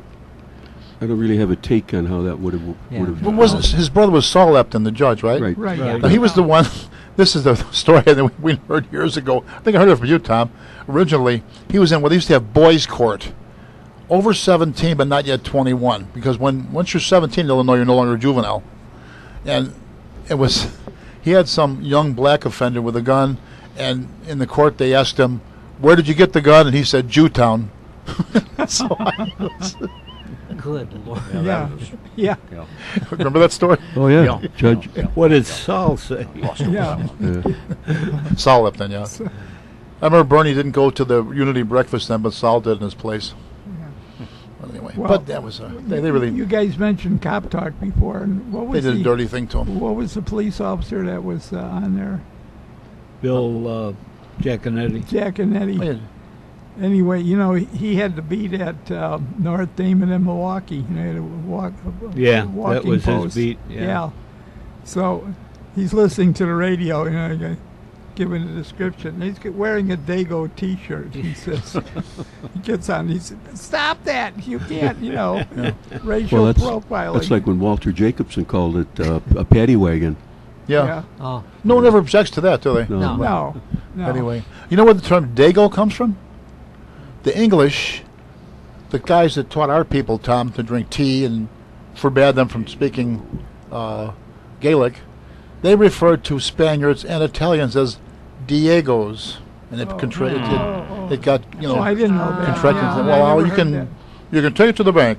you learn something You every learn day. something See? every day. Another little bit of useless information. Yeah. That, that's good. Maybe we should do a program on ethnic slurs. Yeah. Say, man, That would be interesting. Well, you know the term. You know all these terms like a Dutch uncle, Yeah. was kind of a blowhard, or a Dutch treat, which Yeah. is no treat. Or you're going Dutch when you're Going, yeah, the- when you- which, Dutch mean- which means that, which means you know, they all trace back to the time when England was was at war with the Dutch. Yeah. And so the Dutch were the villains, Sure. and so all these these are all English expressions that go Yeah. back to the 17th century. Yeah. When when uh, the English were were were uh, giving it to the Dutch, who were their adversaries. Yeah. You know, last night or yesterday, I looked at the TV guide and uh, uh, happened to see a program on channel 20, which is W was WYCC. Something or whatever it something, is. yeah. Yeah, and it says the Great Fire. And uh, I thought, oh, I gotta watch this. Yeah. Maybe I should call Frank. You know, McMenamin. He wrote the book on I- it, and he he said, uh, well, I turned it on. It, it was like ten minutes after the I- I Great kn- I Fire. know what it was in English. London. Yeah, it was Uh, London. London, yeah, yeah. 60s. 1660, I think. Yeah, I thought, boy, am I glad I didn't call Frank. Yeah. That's interesting. Yeah. Great Fire of London. Yeah. Yeah. Yeah. Yeah. Now, there have been a couple of state politicians who seem to have, maybe because of their, they're essentially liberal, they seem to be more plain spoken and seem to have overcome the uh, label of politician. I think one would be Paul Douglas. A lot of people look upon him rather fondly. And I'm drawing a total blank on the more recent senator who had a deep voice and a bow tie, and his daughter was in politics until recently. Oh, Simple, Simon. Simple Simon. Simon, Paul Paul, Simon, Simon. yeah. Paul he seems to have uh, left with a good reputation. Some, Yeah. some, Well, sometimes referred we to as we, simple. we Simon. talked about her before in the program, and you knew her uh, plain spoken as uh, Judy Topinka. uh, Judy oh, yeah. Judy yeah, we served Topinka. together in the legislature. Yeah. Good Yeah. politician, Yeah. right? Yeah. She was someone that if you ever met her, you would realize she's a genuine Right. person. Yeah, she oh, doesn't sure. give you that phony genuine Right, one. right. Yeah. that uh, Yeah, very honest, straightforward. Yeah. She was And terrific. isn't terrific that lady. rare yeah. Right. in the political view? Yeah. It, it should be the norm, but it isn't, Yeah, I that's guess. why the- these Yeah. t- two stand out that I just mentioned. You know, Yeah. Paul Yeah. Douglas, it seems to me that he was in his 40s, mid 40s, when World War, at the time of Pearl Something Harbor. like that. He enlisted That's in the right. Marines I think when I he think was. it, I he think was it might maybe- he might have even been fifty. He could, or, yeah, I, when he I came know, out, I, I think it was he fifty. was he was good, he was what would be Right. considered way over Yeah. military Yeah. age, Yeah. Right. and wound up coming out. I think he was a lieutenant colonel, Yeah. and and had all sorts of battle citations. I mean, I mean, I may not have agreed with him politically, but he was a terrific Yeah. guy in terms Yeah. of his heroism in the war. Yeah. wasn't he from around Hyde Park or something too? or- Oh, yeah. I think Yeah. so. Yeah, I he was, so. yeah. Was out there, and he eventually was, uh, what, U.S. Senator, wasn't Yeah. he? Yeah, Yeah. Senator And his, Douglas. his big thing was the, uh, The dunes, saving the the Indiana, Indiana sand dunes. dunes. Yeah. Yeah, wasn't right, he right. within his state, but, you know, Yeah. he Well, wanted yeah. to save it. Well, I'm glad they saved it. I am, too. Yeah. Yeah. What's left of it? Then we have more locally, a longtime alderman that was a Burr and Daley's uh, rear end was uh, Leon Despres. Oh yeah. Yeah. Again, basically a was- liberal. He Who's probably that? Could be Douglas's- considered uh, oh, Leon Despres. Leon Despres. Oh, Leon Despres, yeah. And, and he was Fifth Ward. The man with the microphone that kept going dead at I, uh, what a coincidence. yeah. When I was in 21st district- inopportune times. we had a special attention on his house while on vacation. Oh, yeah. Uh, that's my claim to fame. Yeah. Leon Despres's house. Yeah. What about uh, Everett Dirksen? Where was he from? What Did you meet Despres or talk with him? Or They you went just- vacation. Oh, and, was oh, okay. gone. Well, you might see him Yeah. the day he was leaving or the day he came back. Where, where does an Irish family go on vacation? to a different bar. Da-da-da-da-da-da. So, bang. You know who was a, a good, uh, I, I thought was a good outspoken guy too was Jim Thompson. Oh, yeah. Yeah. He, Yeah. he, Thompson. yeah, he, Yeah. he didn't, and he just, uh, you know, when he got out of there, when he got out, of, he just practicing law somewhere. Yeah. You know. you know what he was? He was actually really a good prosecutor. In, I mean, Yeah. in Yeah. court prosecutor. Yeah. Not just the guy with the office. Right. Yeah, no, no. And, and you know, he used to, uh, he collected antiques. and, Yes. You know, and, and Mhm. I, I used to see him, you know, and he'd be walking around when he was governor. He'd be walking around looking at things. You didn't just say, hello, hello, how, how are you? Oh, fine, you know. He lived over in 83's district. Yeah, and, he uh, lived at, uh, I can tell you where he lived. Boy. 801 Hutchinson, 800 Hutchinson. No, you, no, this was this was later on. Uh, This was when he was governor because they had the cameras on there. oh, He, he, he- he lived on Fullerton somewhere uh, later on. Th- This was over on uh, uh, maybe maybe 46, 4500, not Lakeshore Drive, but uh, he had a big mansion over there. Oh yeah. Yeah. Well, I know he was. We used to take some stuff over there. Yeah, After yeah. he was the governor when Johnny was uh, Oh, when, yeah. uh, uh, in, and he uh, we, we took some things over Yeah. there for him. He was very good to us too. You know, you brought out something interesting. You know, when they circulate petitions, you know, to get people on the ballot, they always show where they live. Mm. So, you know, and I'm good on addresses, you know, and you see Mhm. like Yeah. Mayor Daley, 1514 South Prairie or some address like that, you know. And I'm sure it's on the legit, you know, it has to be. you Sure. know. Sure. So, Who who, uh, who did Thompson succeed? Was it uh, Dan Walker? Dan Walker. Remember Dan Walker? Sure, yeah. I remember Dan Walker. Remember Dan Abercrombie Walker, Tom? He He was the another The yeah, Walker poli- Report? Abercrombie police and riot. Fitch He was Boots. another uh, reformer that wound up in jail. Yeah, Yeah. ended up in jail. Yeah. After he was governor, though, there's a little distinction. Oh, there. yeah, yeah, yeah, right. Yeah, he didn't. When I was in Springfield, I met Bill Stratton. Oh, yeah. Oh, Governor yeah. William Stratton, who was Mhm. governor, in the 50s. Yeah. Yeah. And the, the office building where my uh, office in Springfield was, was the Stratton building. They had named it. That's and, right. and he would come there. He would, he must have lived in the area, and he would come around periodically. I once had a chance to meet him and introduce Yeah. myself and talk. Again, very affable, very like apparently, and apparently, from what I understood, was was very well liked in Springfield when he was in politics. He was a very Yeah. respected man. Did he, did he lose a leg and play for the White Sox? That was Monty Oh, Stratton. wrong guy. Stratton. wrong one. The wrong that was strap. the Stratton story. But he didn't lose a leg, though, huh? No, I don't think so. No? I don't think How so. about Von Solbrig Hospital? You heard of that one on South Side? Sure. 6500 South Pulaski That's the uh, Road. Yeah. Lithua- it's a Lithuanian museum now. Yeah, that's where they. Is that That's the place Yeah. that they uh, they amputated the wrong leg on somebody. Oh, yeah. There was a big lawsuit on that, but the guy lost it. Wow. He didn't have a leg to stand on. Da, da, da. But that's a true Dang. story about that happening. He not only lost the leg, he lost the lawsuit. When Tom and myself we used to coach grade school sports, we had a football team, and we had a kid Bobby Eppenstein went on to be an all-state middle guard for St. Rita. Tough, you know, just natural. He was a natural. He got shook up in a game. They wanted to take him in the exam. They admitted him in Von Solbrig. And they kept him all week long. His mother said, the, they, oh, he said his head's bothering him. His head's bothering him. He says, I'm okay. I'm okay. so she got her doctor to transfer him to, Eng- to Englewood Hospital, and he was released the next day. So Yeah, that that's um, Von Solbrig. That was, I think, the last privately owned hospital in the United States. He owned a hospital in Acapulco too. yeah. Is that right? Yeah. And if you, you brought somebody in there, I know I used to when I was in Area Three traffic, we had a lot of accident victims went in there, and uh, one guy he woke up on the gurney and said, "Where am I?" he said, "Von Solbrig." He said, "Get, get me the Get hell out of here." me, yeah. I know the uh, the guys on the, it was before the day, days of paramedics, Bill. Guys on the local fire ambulance, they had an affectionate name for it. They called it the butcher shop. There you go. Oh, yeah. Uh, seriously. We had some of those up north too. yeah. Well, you know, one of the situations was that our ambulance at Midway, which was ambulance 12, they didn't have a hospital in their district. They used to go to that, what was it, Central Central Community, Central Community. the old old Southtown Hospital. where it Yeah, was. 57th and Wood? Helena, was it? Yeah. Wood Street. Like Wood Street? Yeah. Yeah, Central Community. And, you know, somebody got injured at Midway, or- or they're going to uh, MacNeal Hospital in Yeah. Berwyn, or, Yeah. you know, they Mike- did That's named after Don McNeill. My neck of the Right. woods. Yeah. And uh, uh, occasionally they'd That's wind up true, at uh. Mount Sinai, you know, I mean, way out of their district, you know, because they didn't have. Uh, in Holy Cross, Well, Holy Cross, you know, and so. and we had uh, what was some, a lot of hospitals closed along. Uh, what were the ones over around 55th and 57th and I have uh, I have uh, Evangelical? some mixed feelings. yeah, at, uh, evangelical. Holy Cross. Uh, I got hurt on the job, and they had to operate. And uh, you know, your your your anesthetist is always a a guy, an Asian or a, a, a whatever, Indian. And uh, What here tribe? comes a a uh, big big guy. He's about about Jack's size, and he was Irish.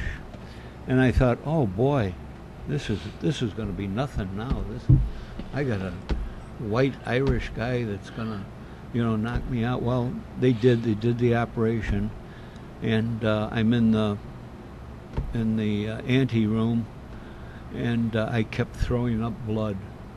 The blood was was going down to my stomach, and then naturally I was throwing up, and I and finally I said, "What is wrong with me, nurse? Come here. What? Why do I keep doing?" She says, "Oh well, the, the doctor's going to be in there in a little while." so here comes this guy, and he said, uh, and and by the way, his name was Burke. He said, uh, "What's the matter?" And I said, "I keep throwing up blood." What? Well, when I was knocking you out, or even use those words, when I was knocking you out, I, I kind of touched a little vein in your throat, and then and I said, "Oh, okay." He says Okay. it'll go away in a little while. Yeah. By the next day, it was gone, Yeah. and I Yeah. thought, I don't ever want to Yeah. get a, you know, I want Mohammed or so- whoever to do that to me again. Uh, yeah, is it going to go away or are you going to go away? this last time I was in with the pacemaker, the guy came in and he, he says, "I'm I'm going to uh, uh, be the the guy." uh, He was I don't know what he was. He was a little dark skinned, and uh, I said, "Oh." I said, "Well, I'm not afraid now." I said, "But I should be." He had a Packers, Green Bay Packers yeah. and the cheese. But I turned out all right. He had Right. The cheese head to go Yeah. with it. A- And did he talk football? He, And you, uh, no, I don't think he knew what. what- What team do you? Uh, they got beat yesterday.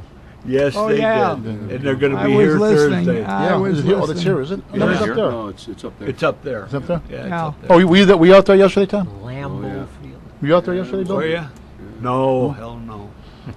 I'm uh, uh, I'm going to sell my seats, my Yeah, tickets. it's not look. It's not looking good. Oh my Yes, yesterday was one of my favorite incidents in the news because there was it's the football season, and the Bears played yesterday, and the headline story in the news was baseball, and I love Yeah. that. I love that when baseball is number Right. one. Number one. Yeah, but football has. It means nothing to me, but I shouldn't say this, but uh, huge, huge. Now, if I had my way- Oh yeah, I understand. Oh. You'd have the Super Bowl. You go right into opening opening season at baseball. Forget that other stuff, you know. that game with the hoop and the hook and the Yeah. Oh puck. yeah, and, that, that yeah, mm. they bounce Yeah. the ball around and then they Yeah. throw it through the basket. you know, Dr. Naismith. Yeah, Yeah, yeah. They used to use baskets. I think that's is that what it's called, basketball. it's called Something like that. Originally, you had an actual basket Yeah, in they- yeah, WGI, they use peach and you also had a jump ball after every. After every score. They had a guy up, and a guy was assigned up there to, to take the ball out of the basket and throw it back down onto the onto the court. Almost like a oh, so tennis. But was- it- yeah, hmm. and then somebody got the idea. Hey, we could cut a hole in oh. the bottom of the basket. Oh, what a great idea! Can eliminate that a yeah, job, what huh? he, what he, na- he, he, he, he nailed a couple of bushel baskets up at, at the end, or, or Yeah. maybe less than a bushel basket, and that's why it came to be called basketball. So you had to have a guy up there to, to, to retrieve the ball out of the I basket didn't- and didn't throw know it back that, down. yeah. Again. Yeah, yeah. Otherwise I know when I, I guess when I started high school, they they were still having the jump ball, and uh, you know, Well, till recent years, all these jump balls every time was a grab. Now they have the opposite. Uh, do they do that in the pros too? I don't even know. You know, go, the arrow going this way and that way for like Uh, possession arrows. yeah, they do have them. Yeah, Yeah. yeah, uh, that kind of helped the game, didn't it? How about the three-point shot? Did that help the game any? You think? I, Uh, I, it- I, I think so. yeah. Yeah. more more scoring is always good Yeah, yeah. for any Yeah. sport. And and that is you know Gets these guys out there to. Yeah. to Well, you, practice. you don't have to be seven feet tall either, Right, right? exactly. Yeah. I, uh, I when I was going to Marquette, I played. I played freshman ball, and, and but I was no good. Uh, but the guys that were with me uh, all went on to play for Marquette, and, uh, and all made a name for themselves. There's a guy by the name of Terry Rand. Never forget this guy, and he was like seven. Five or something. Yeah. I mean, he was a big, thin guy. they and shouldn't be allowed to play. and well, we went out, and and I mean, we all hung around, and uh, we went out one day, and we were walking down uh, the street right in front of Gesu. Uh, uh,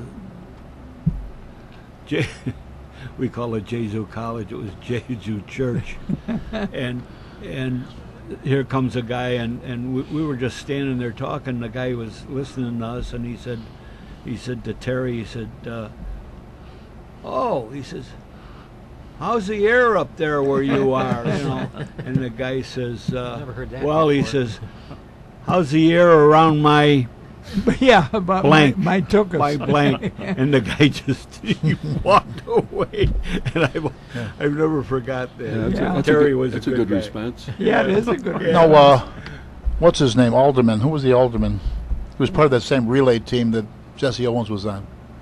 Alderman. Met, Metcalfe. Metcalfe. Metcalfe. Metcalfe. Metcalfe. Ralph He, Metcalfe. he was a Mark from Marquette University. Was Isn't he? Yeah, Was? Yeah. yeah. And that was in the 30s, right? It was the 30s, right? Yeah, yeah, right, Yeah. Right. It was Metcalfe? Jesse Yeah, Owens I guess, yeah. and Yeah, I Marquette think so. and uh, Metcalfe, and another black guy and one white guy, or two white guys were in that famous relay team. They said Hitler wouldn't shake Jesse Owens' hand while he wasn't there that day. This was at the Olympics that were in uh, 36 1936 Berlin, Berlin. Olympics. Berlin Olympics, right? Yeah. Yeah. Yeah. You know, I, I just read something on that. The Nazi Olympics. Hitler, uh, since he was sponsoring, you know, the because they had the stadium and everything, was told he was present, was told, and he did not e- congratulate anybody. You cannot show partiality, and his and the Germans won the most medals at that, Oh, okay. but uh, he didn't even uh, could not congratulate them. The United There- States was leading for like the first week and into the second week, but then the last four days, I think, a number of events came up in which America was not as good, and the Germans Yeah. pulled ahead of us just Yeah, in the last right. few days Yeah. of, of the Olympics. There was another thing. He was only shaking hands. He was congratulating the Germans yeah. that I- won, I was, and uh, he was told you either congratulate everybody or nobody. And Oh. so that that was the end of the Yeah. you know There was uh, another incident there where the great, or the, the opening or the closing, they wanted you to come by. You're supposed to dip your flag past the reviewing stand, and our people wouldn't do it with the American flag. American flag is never dipped. See, th- they they asked him. Uh, no, that w- the first time I think it wasn't dipped was in London. London, and the response from the the he was an Irishman carrying the American flag, and he said, uh, "This this flag dips for no earthly king." And supposedly the real story was uh, the other Irishman in the contingent told him, "You dip that flag and you'll be in the hospital tomorrow." Well, so That's blunt. the interest. And you're going to get uh, cheap o- cheap uh, Kugelman's uh, anesthetist. We're apparently the only country in the world that has as part of our protocol that the American flag remains bolt upright. It is never dipped to anyone or anything. Yeah. And 1908, when it was in was in London, the King of England was reviewing it, and he understood. But Hitler had a fit when because all the other flags were being dipped, including the, the Union Jack and French tricolor, and he had a fit. And Goering apparently knew the knew the protocol and said, "Mein Führer, uh, it's it's the American custom. They don't dip their flag to anybody." But Hitler still did not appreciate the fact Yeah. that the Americans didn't Yeah. dip, didn't dip the stars and stripes. That makes me think of uh, Big Bill Thompson in elections. Republican. Bill Thompson. Was he the last Republican Yes. mayor of Chicago? Yes. Yeah. Yeah. He was. His one of his ma- campaign promises was to punch the King of England in the nose. he called it a snoot. You know what? You know, he has come down as being very corrupt. I think after he passed away, they Yeah. found like a million dollars in his safety. You know, you know he was good to, the fire department in the cities of Chicago, because he was the one that authorized the two platoon system, which is what local two wasn't even local two yet. No. This was 1917.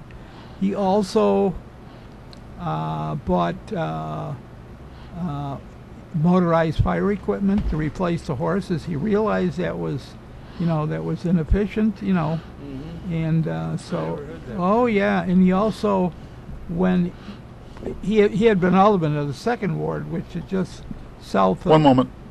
south of. Wait, wait a uh, minute. Whoa, whoa, whoa. Oh, Reg. uh, go ahead. Brief interruption. We'll be right back after Sure. these messages of interest Yeah. Hold and that thought. importance. Hold that thought. I got another thought about Marquette University. Did you graduate?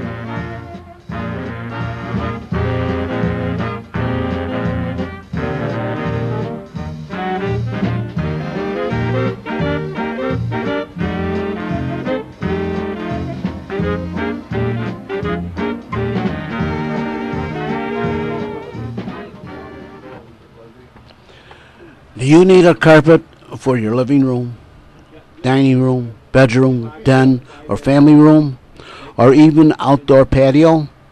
Well, the place to go for a great deal is the Carpet Warehouse located at 4300 West Montrose Avenue in Chicago, or call Carpet Warehouse at area code uh, 3 773 283 0100.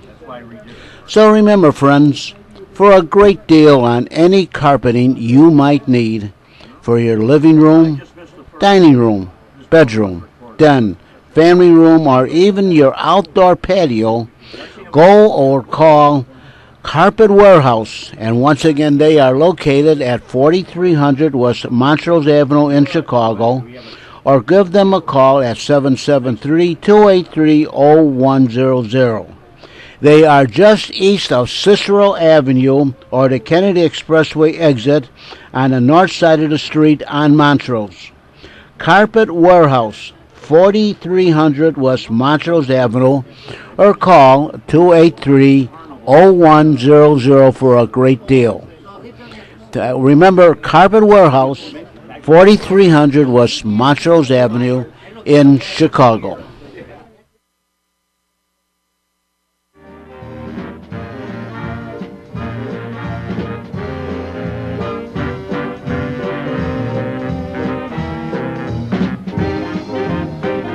And now back to our discussion.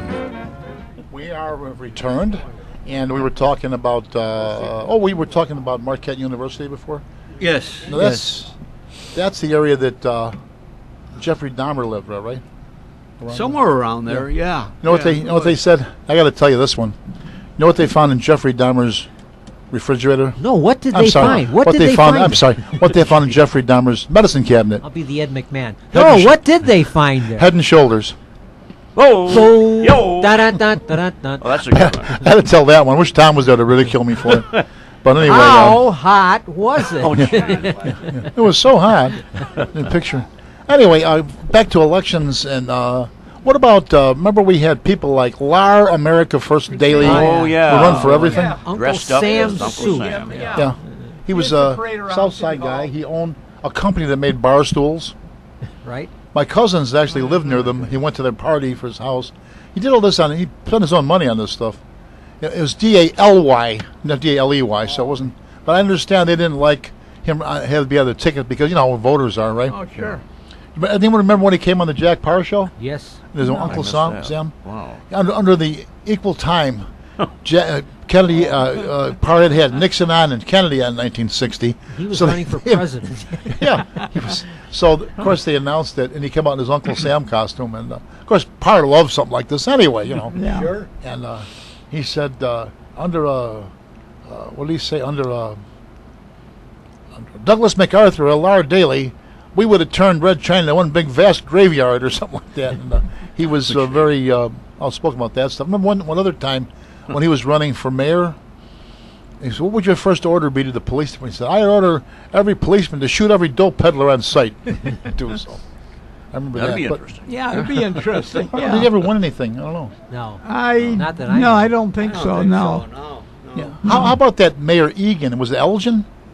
Elgin or Paul Aurora? Egan. Yeah, what was his thing? Paul Egan. Didn't he? He appointed like a barmaid pol- chief of police, or Wasn't that Aurora? Well, was one- I said Aurora, Elgin. Aurora, yeah. Yeah. yeah? I'm, I'm Yeah. talking about in the late fifties, early Yeah, sixties. so Paul Egan. Remember that No. I don't remember. No? No. I don't remember. no. That was a, that was an unusual uh, situation. How about Sabonjian? And Bob uh, Sabonjian from and Waukegan. yeah, Egan. Yeah. Yeah. he got a lot of uh, notoriety, didn't he? What was his thing?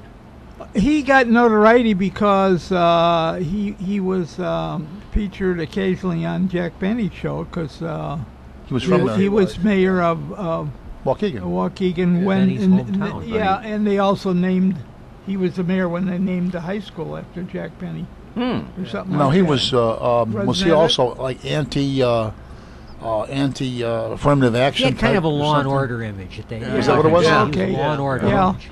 God. He ran as a write-in candidate, I think, for the United States Senate. yeah. Did I he? remember him being on TV where he was explaining to people how you would cast a write-in vote. He was personally describing how you'd cast a And how to write-in spell vote. his name, too. Yeah, What extraction yeah, was right. that? Was that? Um, I think Ar- maybe Armenian. I think it was. Yeah, I Yeah. think you're right. I think so, Armenian. yeah. Armenians from. Uh, There- Wasn't his son uh, take over after he died, or I don't recall. Some member yeah. of the I family? about. I Yeah. remember. Interesting. I remember. Uh, yeah, I very remember good him. to the police and fire? Yeah. Was he? Oh, oh, yeah. Yeah. I was in grade school, so it wasn't very Uh, good to me here. there was- St. Theodore.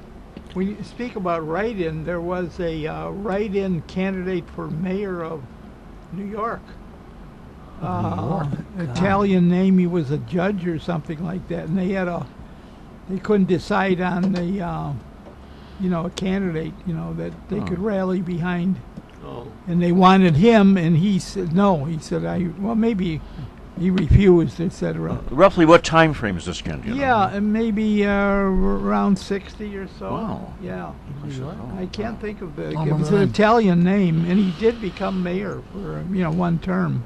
One Well, there was there. Im- Impellit. There was an That's Italian the mayor, guy, Impellitteri, Impellitteri. in the or in the like late forties, early Yeah, fifties. that was the guy, Impellitteri. before Wagner, because Bob right. Wagner was mayor for like three or four terms Yeah. in the fifties and sixties. Impellitteri was he was a right a write-in Okay, I didn't candidate. know that. Yeah. So Yeah. Wagner was a contemporary of Richard J. Then, right? Yes, yeah. Bob Okay. Wagner was mayor of New York Okay. in the fifties and Yeah. sixties. Now, does anyone There's, recall? a, there's now, a cartoon of Bob Wagner with a, a pie ch- a pie graph, you know, and it's broken up into and he and he's he's got a pointer at it, and they they put in the caption under it saying, "And this part is graphed."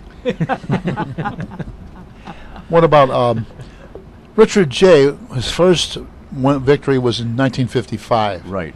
This would have been his third one in 1963. Ben Adamowski ran against him. Remember Yeah. Ben? Who gave him his closest race, yeah. And he did. He did all by himself with really no organization or backing. Carried the white. remember- said huh? he carried the white vote in the city. Yeah. And the Yeah. Polish Uh, vote, sure. I um, I know we were sitting in. I was a junior in high school, and we're sitting in uh, Father Hartman's class in physics. You know, I'm talking about Father Hartman. Remember, remember Joe Hartman? He was a he used to work with the fire department as a chaplain. Father. Oh, oh, Yeah. oh, yeah, Yeah. yeah, yeah. Yeah, I got a story about he him was later. a sort of But anyway, a pseudo he was chaplain. saying- yeah, he Yeah. wasn't he, official. he he never in his life saw someone do so well by himself with all the negativity in his cam- campaign. And he said, if this guy had any organization, he'd be mayor today. You know, yeah, of course, the Polish vote. You know, that was, they were very. That was very. Uh, yeah. uh, people automatically thought, "Yo, you Ro- Ro- Ryan, you must be Irish." And you, so this guy. Well, I never really thought that way myself. Well, like every, you every know, f- one of his knocks was the fact that he had been a Democrat his whole yeah, life. he was right. Adamowski, And now, but yeah. now all of a sudden he's a Republican. And, you Well, you didn't know, Richard J. run for sheriff under the Republican ticket? His first, No, State representative. State representative. representative. and he yeah. was Republican then. He was in that three, Ran mem- on the three member district arrangement. There were already two Democrats. Oh, is that what it was? Yeah, Yeah. so he Okay. ran as the Republican, so he Yeah. could be elected. Did he and then get imme- he was elected as the Republican. When he got to Springfield, he immediately declared himself to be a Democrat, Democrat, and, and yeah. voted with the Democrat. But he was elected How on the ballot as a That's right. Republican. Yeah. Silly stuff. Yeah. But uh, yeah, Adamowski, he, a few other, he did a few other.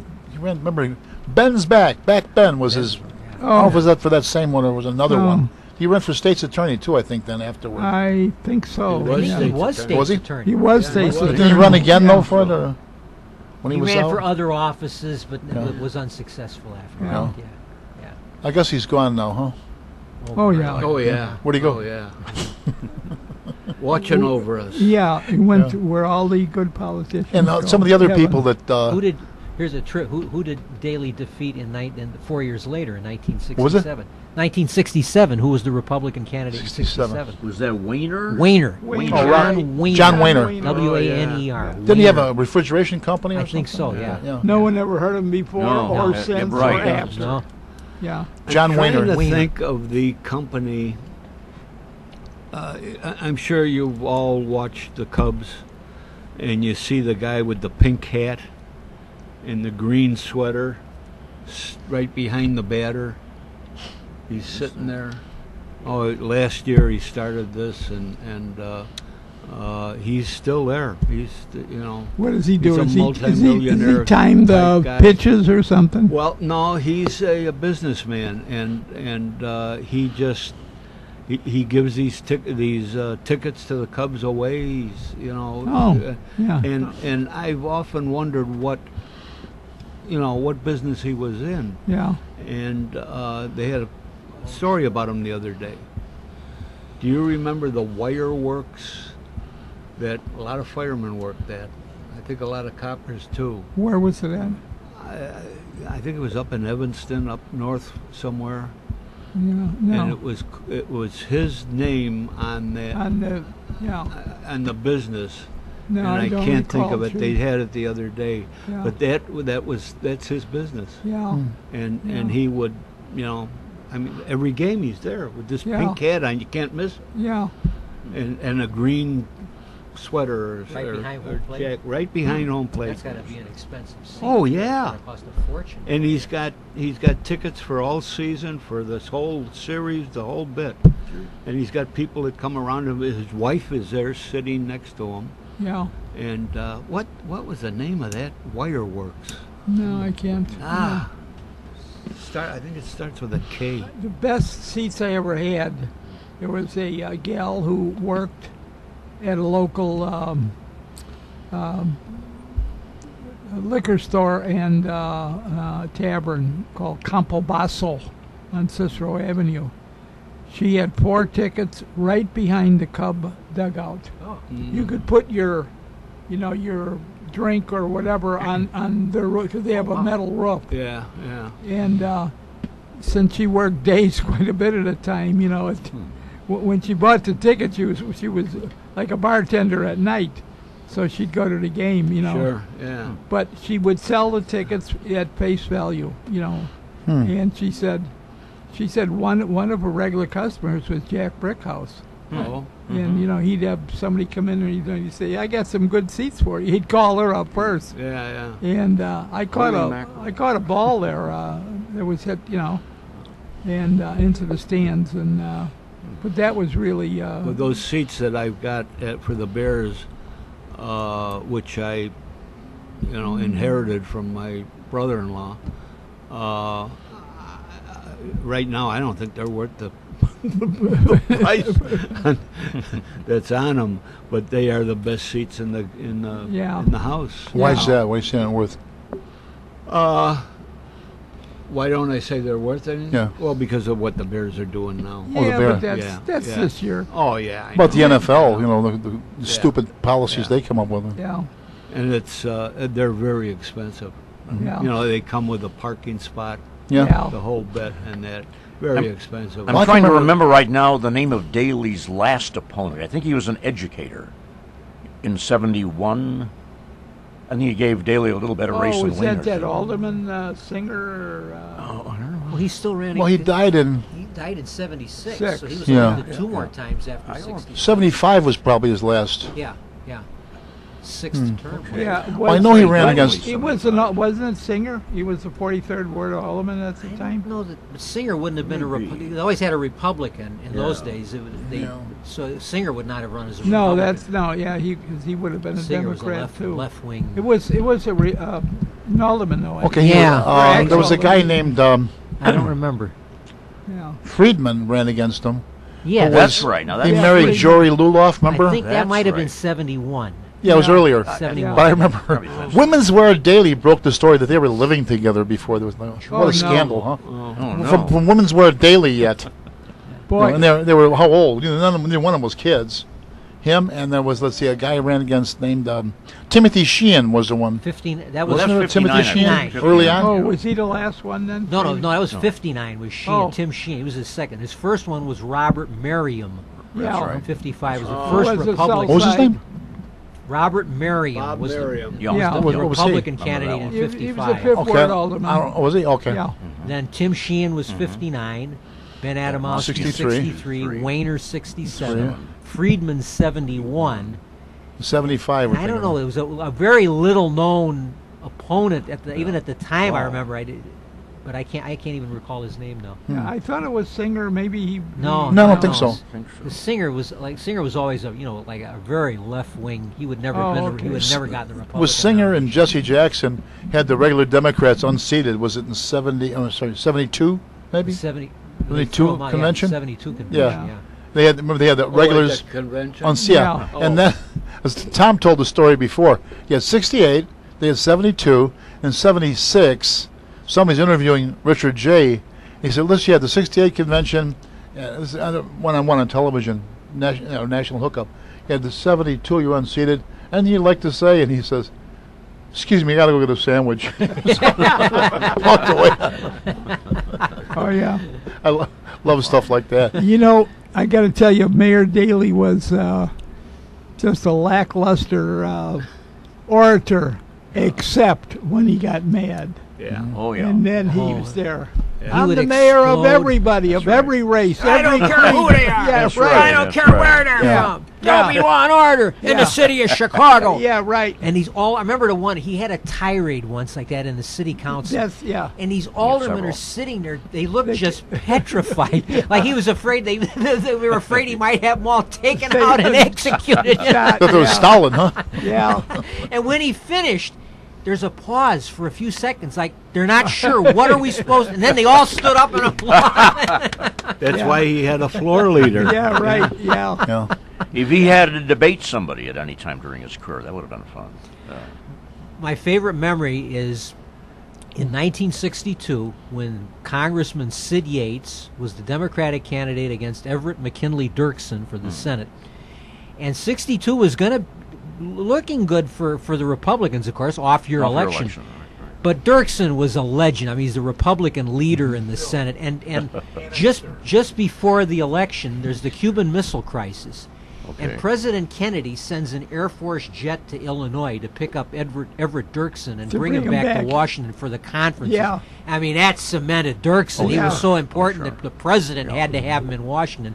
So naturally, on election day, Yates is defeated, and I'm listening to the radio. I'm I'm in my I'm a freshman at in high school at Fenwick, and I, but I would listen to the ra- radio, the news, particularly the day after the election. I was already interested in politics, and I remember listening live on WIND when the, re- the reporter had a hookup to the mayor's home out in you know on Lowe Avenue in Bridgeport, and they're waiting for the mayor to come out so that they can. And finally, you, you hear the you hear the like the, the garden gate closing, and, they, and Mr. Mayor, Mr. Mayor, uh, can you tell us what happened in the in the senatorial election yesterday?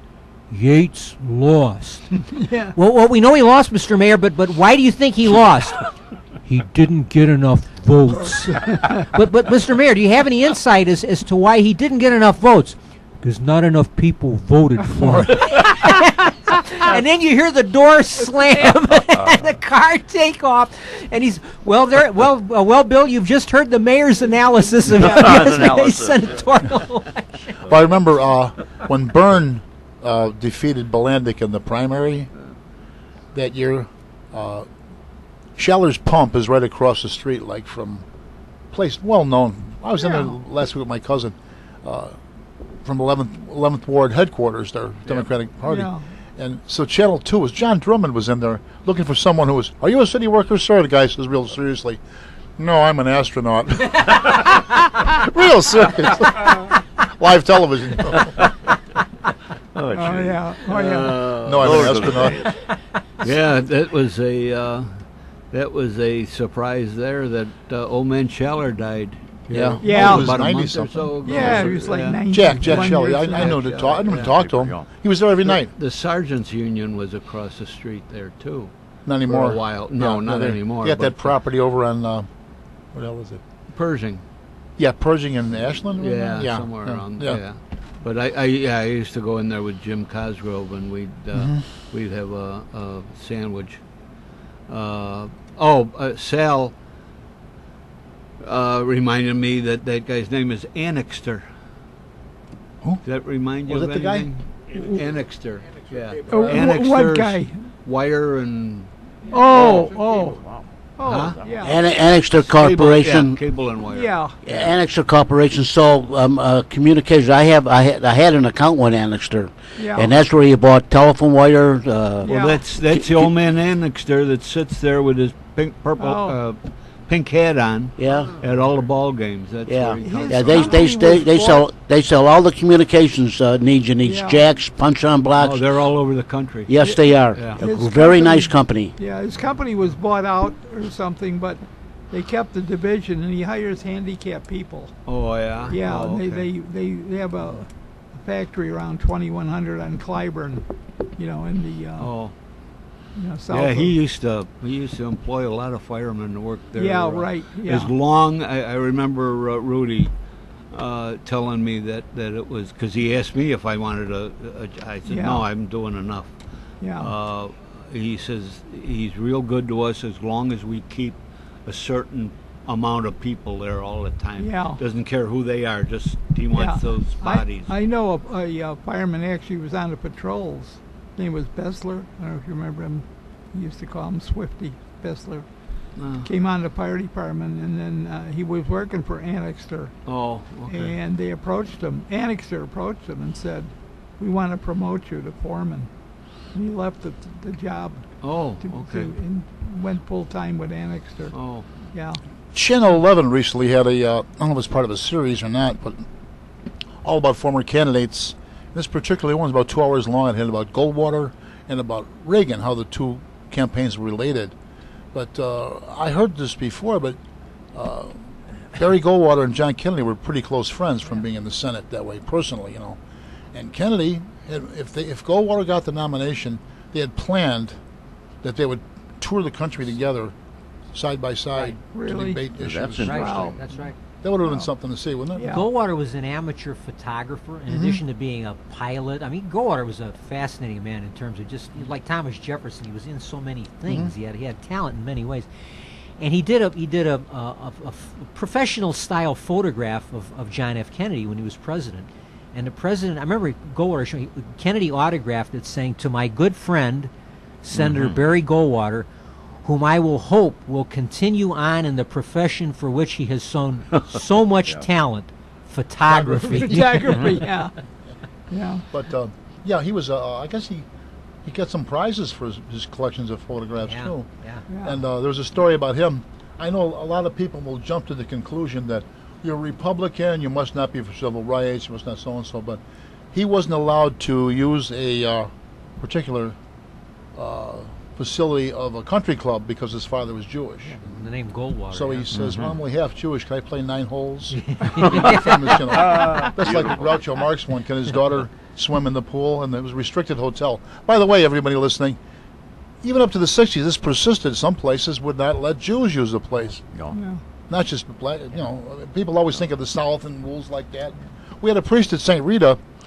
He, he was from, from some town not far from Milwaukee. And he was telling us when he was growing up, this guy would have been my age or maybe even a little younger.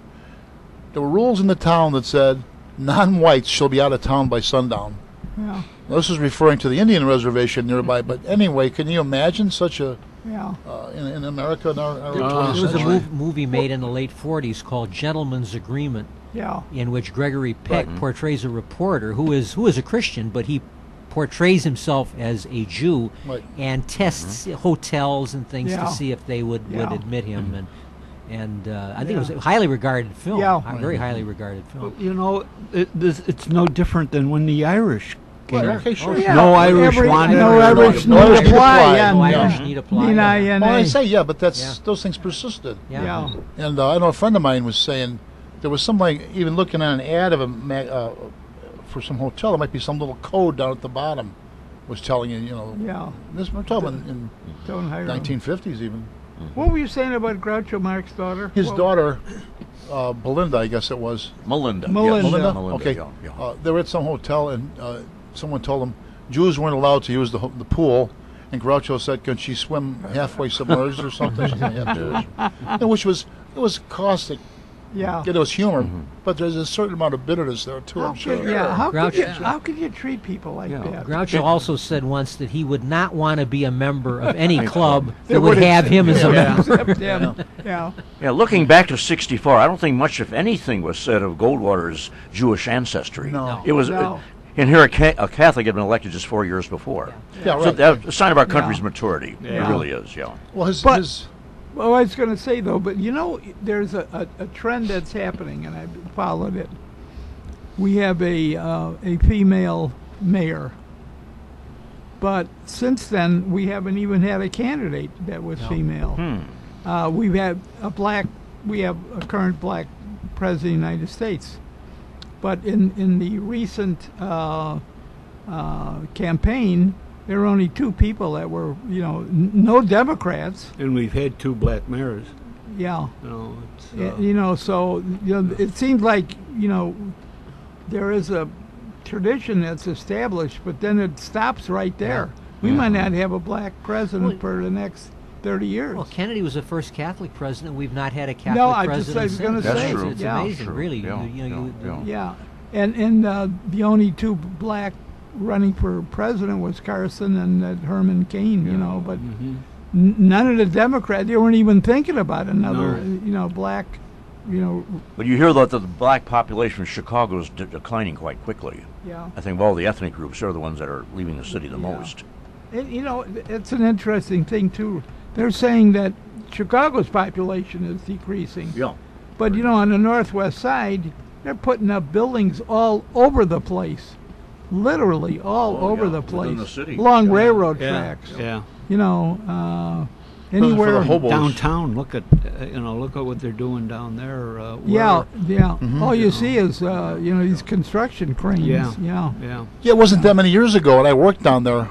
South Loop and near, say, River North, what they call now, there was nothing there. Yeah. A lot of those buildings were almost empty, old warehouses. Uh, Greek Town, that way, over that way. Yeah. Now it's population living down there. There's quite a Yeah. few students living downtown. My daughter wants to get an apartment, a condo down River River North or somewhere. Yeah. The one Yeah. was her birthday today, by the way. Happy, birthday, birthday Jennifer. to you. Can we sing to Jennifer? Yeah. Happy birthday to you. Happy birthday to you. Happy birthday, dear Jennifer. Happy birthday to you And many many more. This were the uh, the, the uh, Chicago uh, Meet the Historian Singers. Yeah, right. And how old is Jennifer becoming? I'm not going to tell you. that. Oh, she wouldn't want you to. Okay. Okay. Okay. I'm no older than I was than when she was born, though. She's 11. yeah. There you go. That young. Yeah. That's young. Yeah, Very she's. young. Uh, yeah. Well, I guess I, guess- I, guess- must say I might complain about them, but they're really good kids. Never been a problem at all. I mean, we moved You- to our new place. You've been a problem. Maybe you've Definitely. Been a Oh, well, aren't we always? Isn't the guy always wrong? What's wrong with you? I was never wrong. Our tax lady's got a, a printed paper on the real official looking. It says, if the guy's in the middle of a forest and there's no one else is around, and he says something, is he still wrong?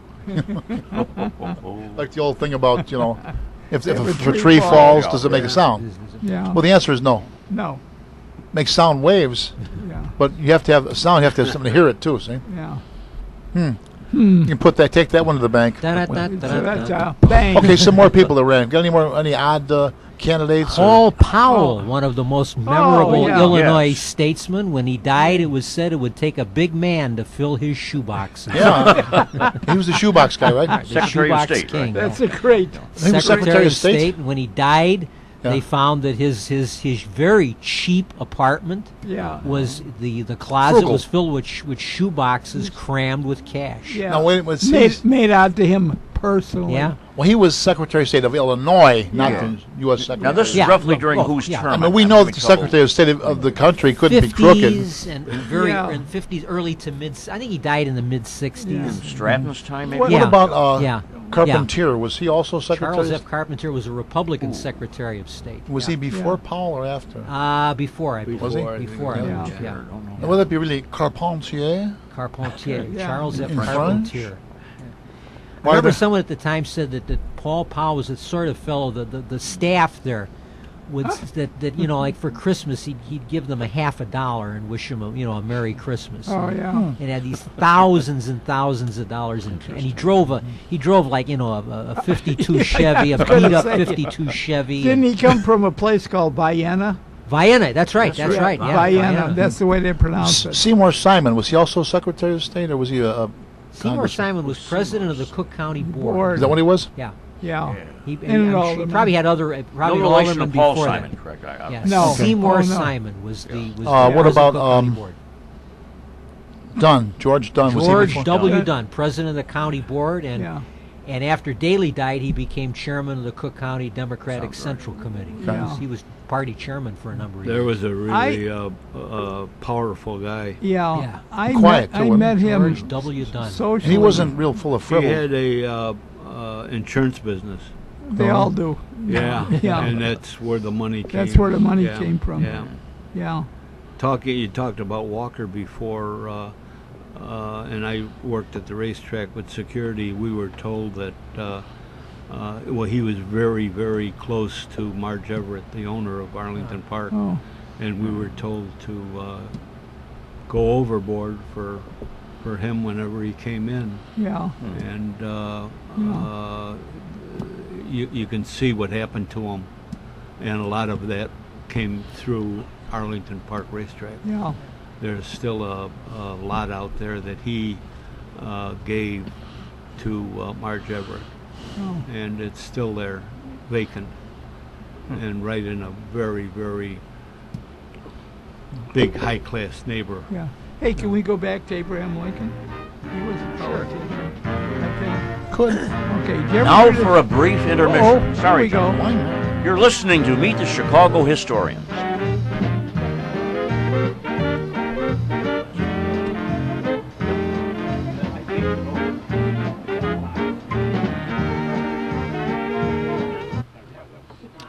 Well, friends, guess who's knocking on your front door? yes, it's not that far away, and that'll be Old Man Winter. And of course, when Old Man Winter arrives, he brings snow, hail, sleet, and all kinds of inclement weather. And now is the time for you to realize the fact that you have to check the roof, siding, and gutters on your home. You want to be sure that the roof, siding, and gutters in your home are in good shape. You don't want mold, mildew in your attic or crawl space, or drip, drip, drip on the ceilings in your rooms, or have walls damaged by a leaky gutter or bad siding. So don't have double expense. Sooner or later, you're going to have to get it taken care of. So call Best Brothers Roofing, Siding, and Gutters at area code 630-616-1359.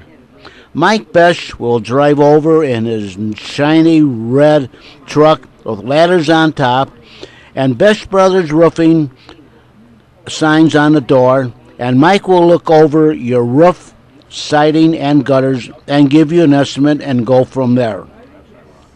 So, once again, friends, don't have double expense. Be sure that the roof, siding, and gutters are on your home are in very good shape for when old man winter arrives, and that's not that far away. So call Best Brothers Roofing, Siding and Gutters at area code 616 1359. That's area code oh, 630 616 1359. Call today for a free estimate. Best Brothers Roofing, Siding, and Gutters at area code oh, 630 616 1359. Call today and don't wait.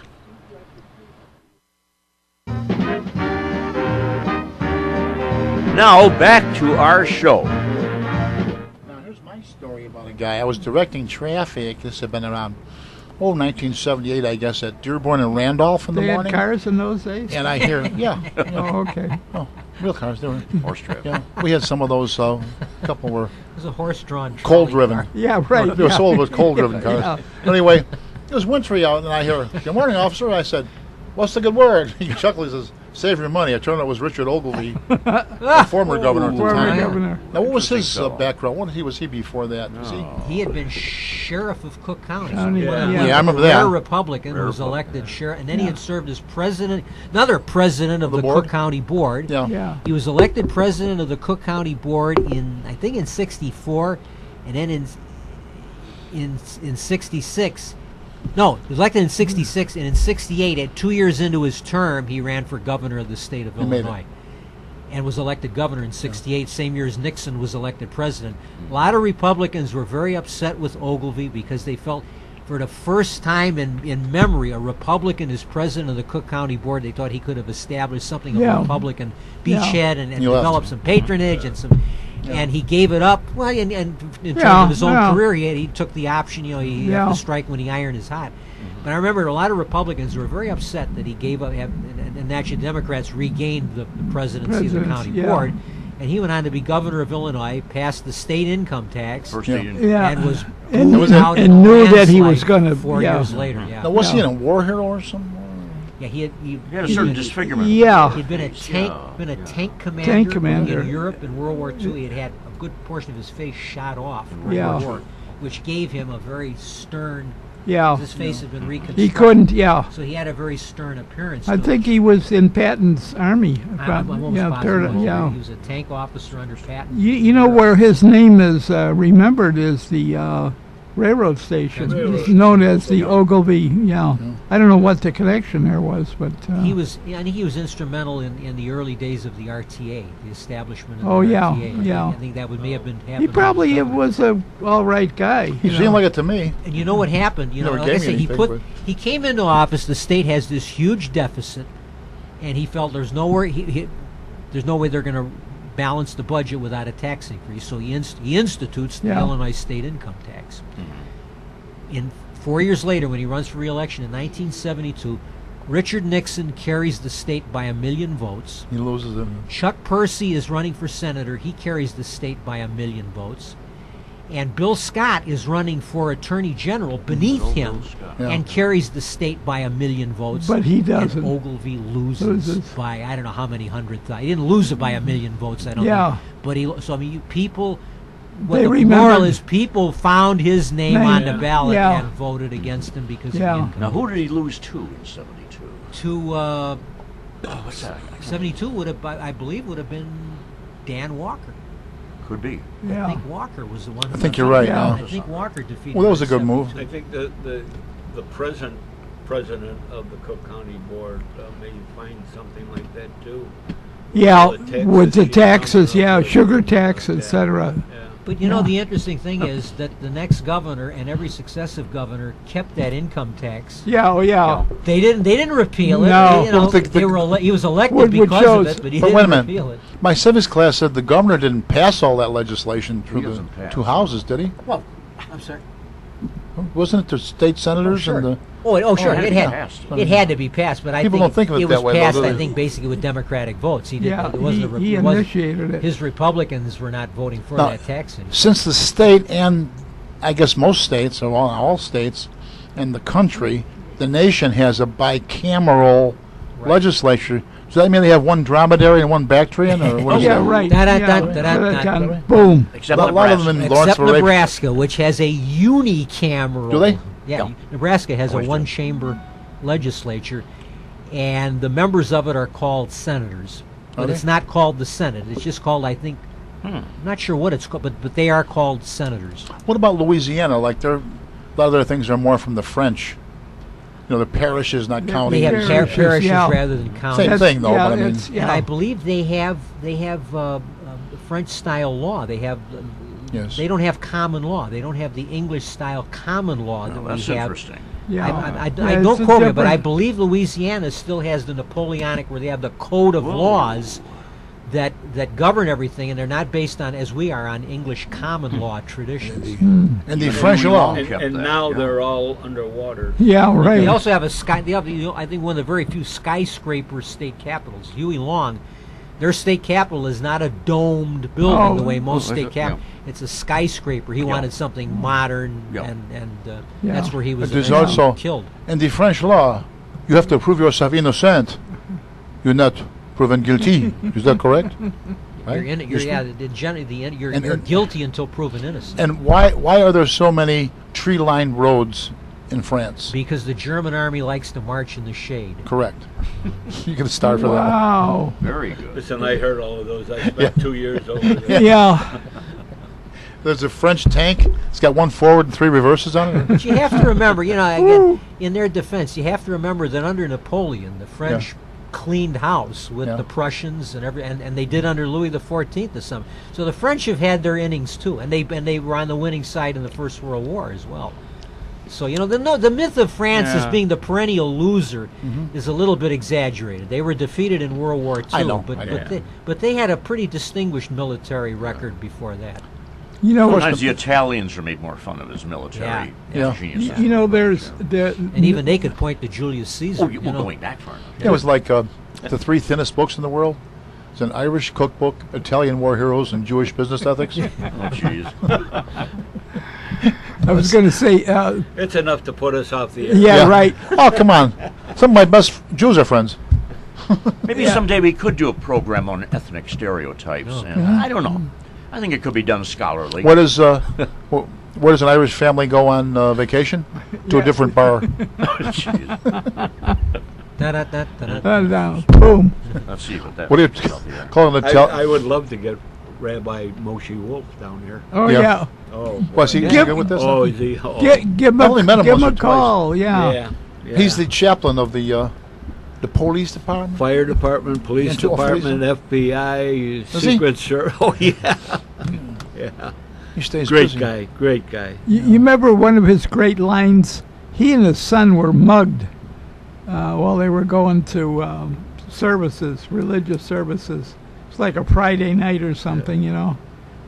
And uh, they were able to catch the mugger, you know. And he says, "What a dummy!" He says, "I'm going to shul or something." He said, "I don't." I can't carry any money, and he's robbing me. I don't have anything to give him, you know. So, He, so and he's a big guy. yeah, He is, yeah. Oh, he's, he's, a big, yeah. and he's very, very he's uh, articulate. astute with uh, judo and jujitsu. Oh, and- yeah. oh yeah, he's he's quite Don't a mess guy. with him, huh? Nah. Yeah. So anyway, that makes me think of this uh, this old Jewish guy. Every every week at the services, he stays real late after everyone's gone. He's praying, Lord, please, Lord, please let me win the lottery. I wish to win the lottery. Please, Lord, please. Goes on for months on end. Finally, one evening, Saturday, I guess, everyone's gone. The light comes through the ceiling. Goes, hmm. Max, Max, got to work with me on this one. Buy a ticket. Now that, now that kind of joke is harmless, isn't it? I don't think that's Yeah. Oh, What about the uh, what? What do you call an Italian who has one arm shorter than the other? It's a speech impediment, you know. So Oh, I told the Irish one already. Yeah. good program. Welcome to the Ethnic Hour, ladies and right. gentlemen. How do we get from, from jokes to that? Huh? We can deal with insult everyone. no one has escaped. Now, we used to have a, a kid I went to high school with. He was Polish, and he would, and uh, we were we both worked at Central Steel, dock guys, you know. And he would come over in front of me. I guess it's supposed to make me feel bad. Every Polish joke he heard, he turned and made an Irish joke. He looked right at me like, "Oh, it's supposed to hurt me." I don't know. He's getting back for all. I mean, ridiculous. You know, you, you mentioned uh, the Dutch and the English. Yeah, I I heard, I don't know if it's true or not, that the Russians were the people that pushed the Polish jokes because they had you know friction there in Poland. You know. sure. So um, you know, you know, because you remember, you know, well, there was a uh, beauty contest in Warsaw. There were no winners, you know, stuff like that. And uh, After the war, the, the, the Russians built a skyscraper. Stalin built this skyscraper in the center of Warsaw called, I think, the Palace of Culture. oh, And it's, you know, it's just, it's, it was Stalin's favorite form of architecture, which is, you know, horrendously ugly. And the story amongst the Poles was, where do you get the, the finest view of Warsaw? They say, oh, from the top of the Palace of Culture. Why is that? Because from there, you don't see the Palace of Culture. yeah, yeah. Well, I know that World War II uh, was the the. Uh, by the way, that wouldn't be true about the uh, no winners in the beauty Polish girl beauty contest. You just Anyway, Well, Uh, th- this was the type I know. of, you know, you know. no, I know, but I'm just saying, when, Yeah. uh, firsthand, you know, and you know what really looks good? A lot of neighborhoods they had Mexicans and Polish, and the girls that come out of those those unions. Wow. Wow. Oh, mm-hmm. yeah. Knock out. But anyway, what was I saying? Oh yeah, what was I saying? Oh, in Poland, they refer to World War II as the war they lost twice, Yeah. being that you know, Yeah. The Germans, Yeah. and then, the, And then the Joe Russians, Stalin, yeah. he's an- our friend. Yeah. Jo- joke was, you know, in, in more recent times, you know, if you ask a Polish officer if Poland were invaded simultaneously by the Germans and the Russians, who would you shoot first? Oh, we would shoot the Germans first. Business before pleasure. That's good. I know. I s- well, th- the restaurant we go to on uh, Sundays often, Peaches and Pears on Archer near us. Uh, they run Polish people own it. You know, Polish Americans own it. Yeah. And a young girl in there, she was going to school, and I said something about Putin, and I said, "Why does he always got this pissed off look on his face?" And she says, "Don't all Russians?" yes. she yeah. says to a young Polish kid. Yeah. Yeah. Anyway, speaking of Putin, Putin on the Ritz, right? anyway, let's come on. We got to get some more. Any more election stuff? Any more election? you were going to talk about Abraham Lincoln. You Yeah, I was gonna- talk about well, but very briefly. Um, was um, um, you were mentioning the uh, uh, well, the state of Illinois. Uh, well, Stephen Douglas, you know, was our senator. Lived in Chicago around 30, you know, where he's buried, 35th and Cottage Grove. He gets a land grant for trackage from Chicago to Cairo, Illinois, which is about 400 miles. So Paul Doug- uh, Douglas? Stephen Douglas. Stephen Stephen Douglas. Yeah, yeah. Stephen. So- Illinois Central, correct? I- Illinois, yeah, for the Illinois, Illinois Central Railroad, they could have never, they n- never could have accumulated enough money to buy all that land. Yeah. So he, they get a, give them a land grant. Anyway, so the state, in issuing a charter, says, how are we going to tax them? Because this the trackage is going to go through many, many, uh, you know, townships, small towns, big cities, you know, Springfield, whatever. So they said, the Illinois Central will pay seven percent of their gross income to the state, and to no one else. Well, a few years later, someone sends them a tax bill. So the Illinois Central says, you know, no matter which way this goes, it's going to wind up in the Supreme Court, Illinois Supreme Court. Let's get a lawyer from Springfield to represent us. So they get Abraham Lincoln. Mm-hmm. So he sort of talks. Was representing the railroad? He's representing the uh, railroad. Yeah. Yeah. biggest case he ever handled. Yeah, I think it was. Yeah. And uh, anyway, I think he talks the Supreme Court into not accepting it. Yeah. So and so it went to a lower ruling, which was in favor of Illinois Central. He then sends a bill for five thousand dollars to the Illinois Central Railroad. They refuse to pay it. Hmm. So he sues the Illinois Central Railroad to get his fee. So he gets what do they call it? A, a, a notice of attachment or something Probably. from a judge, Yeah. Sounds right. and he can he can attach property. You know what he attaches? A train. He gets a train, locomotive, coaches, on the track, mainline track in the Springfield. Sheriff of Sangamon County says to the both the engineer and conductor can't move the train. Now he's got the, he's got the railroad tied up. So they eventually, I don't know if they had a telegraph then or whatever, but they, Oh yeah. Oh, they would've Oh had yeah. it. Yeah. They did, Telegram, yeah. yeah. Yeah. yeah, but eventually, yeah. That- Conductor that- that- says, that- "I- I'll talk to my boss. Boss says, tell Lincoln we'll, you know, release the train. We'll pay him a fee. He got a five thousand dollars. That's true. Biggest fee that he ever collected. Mm-hmm. Is What that was right? five thousand dollars? What would that be had to today? sue it. What would that be today? How much? Oh, Oh, God, God I knows. don't know. Yeah. Fifty million. You know, that's the same thing happened up in uh, in Baraboo where the the gambling uh, casino is, Oh, and uh, the parking lot was owned by a farmer. They just rented it, oh, and uh, it was owned by a farmer. Well, they hadn't paid this farmer their his rental fee for quite some time, and I was going somewhere and I went by it and I thought, what the heck are all of those big concrete, uh, uh, whatever you call them, blockades uh, Yeah. doing in that parking lot? And, and uh, somebody must be doing some Yeah, doing some heavy construction work or whatever.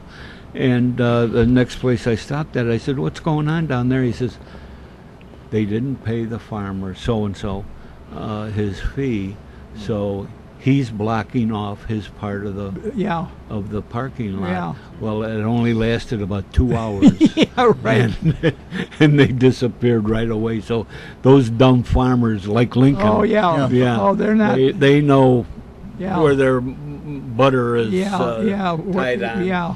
Well, someone asked Lincoln how long a man's leg should be, and he said long enough to reach the ground. he was got very long-legged, correct?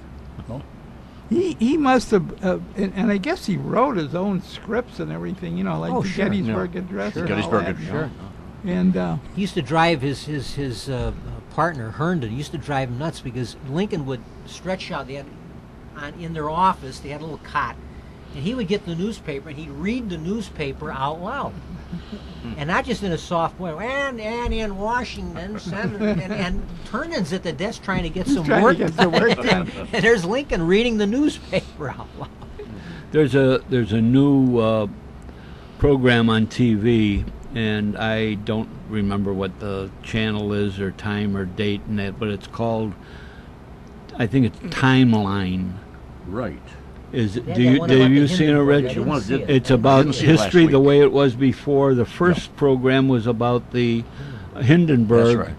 and and this last one was about the assassination of Lincoln. Oh, really? Lincoln, I missed yeah. that. And- I was gone. that and night. yeah, Missed and both. it's uh, it's interesting. I mean, you Oh, know, it's all uh, BS and and you Yeah. know Yeah. the way they did it, but it's really interesting. And of course, they got a whole storyline around it. Uh, Yeah. You know, a love story and all of Yeah. this. But but it's it's interesting. Yeah. the very fact that we remember all those, you know, the Hindenburg, no one will ever forget it. Oh, you know, God. and, you know. Oh, Good the thing they bring this Herb out Morrison, was it? Herb so that Herbert these Morrison. kids Morrison. now Herbert know Morrison. what WLS going radio. on. Yeah. Yeah. Oh, the humanity! Yeah. This What's is the name, worst Morrison? attack. Oh, yeah. Some people Herb walked away without a Herb Morrison. scratch. Yeah. I mean, Yeah, No, no, yeah, a lot of people yeah, didn't. A lot of people. In terms of numbers, there. I mean, I think we're 37 people killed. I mean, Yeah. it's, it's not. It's, small. it's But- nothing yeah. like the Titanic, but it's just No. it's the drama. You know, the- spectacular The, drama. newsreel, the fact that it's on film, this huge, this huge So all of a zeppelin sudden, exploding Yeah. and burning. What was the uh, uh, hydrogen? Yeah, it's filled with hydrogen. Yeah. United Yeah. States would not Yeah. would not. We're the only country in the world that possesses helium, Helium. and we wouldn't export it to the to the Germans. Right. It was. Uh, it's it's amazing in a way uh, that the world hasn't gone back to lighter than air, lighter than air. They or- talk about it. There's Yeah. always They, articles. they and popular- do. They that- are. They are Yeah. coming back Yeah. with some Yeah. uh, uh, around. Uh, every Yeah. so often, you see that. but, not- but very small. not as a small passenger scale. Yeah. But it makes for slow not- you know, transportation. Yeah. I mean, I mean the Goodyear blimp, you know, at, Yeah. at the football games or something. That's about it, right? And and we had the, the the Goodyear blimp crash in the loop. You know, the Yep. the very Was first that one. uh, First National Bank or Continental um, Bank? Continental, I think. Yeah, it was, Continental yeah. was yeah. Jackson. the and big bank with the little bank inside. 19, bank. Is that what it was? 1919. Yeah. Yeah. Was that a Goodyear blimp? I don't think. Yeah, No. it was Really? Yeah, It it was was that the far first. back. Wow. Was the first Yeah. Goodyear blimp. You know, you look at the size too. A Navy blimp next to the. There was a, a photo next to the uh, Hindenburg. Holy cow, they were huge. Oh yeah. There is there's a fascinating Which was huge. Hindenburg. Oh, the Hindenburg. Oh, yeah, Hindenburg, yeah. Oh, yeah. yeah. There's a fascinating black and white movie called Dirigible that I saw a year or so ago. They had on one of the movie channels, made about 1934. It's an early, you know, an Oh, early man. black and white talkie film, Oh. and it's about Navy, about the, the Navy officers serving in the lighter than air service. And there's one scene there where they've got one of one of the the Navy dirigibles. I think it was the Los Angeles. Could it, they had the Akron, the Macon, and the Los, Los Angeles Angeles, yeah. and there are blimps and balloons all together like a fl- I've never seen this. You never see several together. And mm-hmm. there's so there's this huge zeppelin and two or three navy blimps escorting it. Mm. I mean, it just if you're interested in that sort of thing, it's a, Yeah, it's a fast to see and a couple of, you know, regular hot air balloons and they're conducting like Navy maneuvers at this time. Yeah. It's and then they go on. They go. The story is they go on an expedition to the Antarctic, Oh. and it crashes. If you ever have a chance to see it, it's a very interesting picture. Bulletin. I want to give you my favorite Lincoln story. Yeah. He's he's defending a woman who's accused of murdering her husband, and the, I do this as Lincoln. And the case looked powerful against her. So I asked if I could have a conference with my with my client, and the judge agreed to it. And in those days, we didn't have any fancy conference rooms. You just went outside and had your conference under the tree. So we went outside and talked, and then the court came in session, and the judge was there, and the prosecutor was there, and I was there. But the woman, she was nowhere to be found. So the prosecutor stood up and started a ranting and a raving, saying, "Your Honor, Attorney Lincoln has done something dastardly. He has spirited his client away from the jurisdiction of this court." And I said, Your Honor, that is not true. That is absolutely not true. While we were out there, my client told me that she was thirsty. And I told her that I had heard there was some mighty fine water down in Tennessee. Yeah. Now, she was never seen again in those parts. Oh, that's True story. True story. yeah. heard that one. Yeah. I know he's been portrayed uh, by many people, and uh, in uh, Young Mr. Lincoln, it was Henry Fonda. Remember? Well, he's got the one Ward Bond on on the stand, and the one, uh, and he some kind of killing. He's trying to prove something, and Ward Bond's name was J. Palmer Cass, and he says. Uh, and what does it uh, does your J stand for? He says, John. He says, well, I prefer calling you Jack Cass. so the whole courtroom laughs and laughs. Ten minutes later, the judge goes, oh, that's a pretty good one there. I just got that. Yeah, that was That's- That is a true story too. Is he, it? He, Yeah, pro- he proved he proved that the witness who claimed that he saw oh yeah. the murder or the or the assault being committed in the moonlight, he proved with the with the almanac Farmer's that there was no moon that was night. no it was a moonless night, and this guy's whole testimony was that he could see it clearly at ten o'clock at night because of the moon shining. in. Yeah. Yeah. That's right. Oh yeah. He True was. story. It's the almanac. Yeah. Yeah. Uh, what's his name did him too in uh, Abe Ray- Lincoln, Illinois. Raymond Massey. Raymond Massey, Massey, yeah. yeah. A Canadian, by the way. Yeah. Yeah. Uh, but he was Massey that was done from a, a stage play That's originally, I believe. That's called uh, uh, Abe Lincoln in Illinois. Yeah. Yeah, Abe right. Lincoln in Illinois. That's what you said. Where it's young Mr. Lincoln. was is the other one, the yeah. is the one Around the same time. Massey Ah. redid it redid it on television in the 1950s, With and it ends with Massey leaving Springfield to go yeah. to to Washington. Go to Washington. And yeah. the story is the true story. Ted Knight, Ted Baxter from, Yeah. from Mary Tyler Moore Show, was an extra in the in this TV, and it's live TV, of course. Mm-hmm. And as the train is, is pulling away, everybody's is shouting "Goodbye, Mr. Lincoln." And Ted Knight, forgetting himself, says, "Goodbye, Mr. Massey. Goodbye, Mr. Massey." well, that's like Burt Reynolds when his early, early days when he did live television, like Playhouse 90 or one of those. He had a part on a, uh, whatever the play was. It was supposed to be a bad fire, and a reporter comes along to ask the fire chief, who was Paul Ford. Remember Paul Ford? Oh sure. Colonel Hall on. Uh, Yeah. Sure. he says he's supposed to say, any survivors? Says, yeah, this man over here, he can tell you. And it was Burt Reynolds, you know. So the reporter goes and says to him, any survivors? He goes, no, no. so he didn't get to talk on it. so, And Walter yeah. Huston played Lincoln in an early 30s talkie by Oh, D.W. yeah. Griffith. 19, Oh yeah. Very oh. static movie by today's standards, but 1930. Abraham Lincoln was the name of of the early talkies, Yeah. Just, right? I think the name was just Abraham Lincoln. That Yeah. was the name of the How about in uh, uh, Birth of a Nation? Joseph Teasbury was. Joseph, remember Joseph Teasbury? Yeah, He had a lot of good movies. It was- what year was uh, Birth of a Nation? Nineteen. Henry B. Walthall was the star. I, I think He was- 1915. Yeah, 1915. he was uh, one of the. Was he the plantation owner? Becomes the officer and Walthall, yeah. yeah. yeah. yeah. Now, there's a picture okay. that no one will give a fair chance to gonna I guess, because oh, it's all about the slave and the Reconstruction. But there was a lot of true true occurrences were portrayed in there of what happened with this construction. I mean, you, if you were if you held arms or against in, in the war uh, with the South, you couldn't hold any elected office, and they had Yeah. you know whatever. And there, there were people in the North who were going to punish the South for it. They said, and even and there's a quote in the picture when Lincoln gets killed, was it Harry B. Walthall? Walthall, he yeah. says the South has lost its greatest friend Yeah. because Lincoln wanted just to go back. He wanted a, Yeah. yeah, Yeah. Lincoln was glad he wanted the Union restored Yeah. and as little No- as no little reprisals, commotion no- as yeah. possible. Yeah. But there were people like that. What was the one senator's name? Um, Sumner. I don't know who he it was portrayed in. Also in that, um, I think.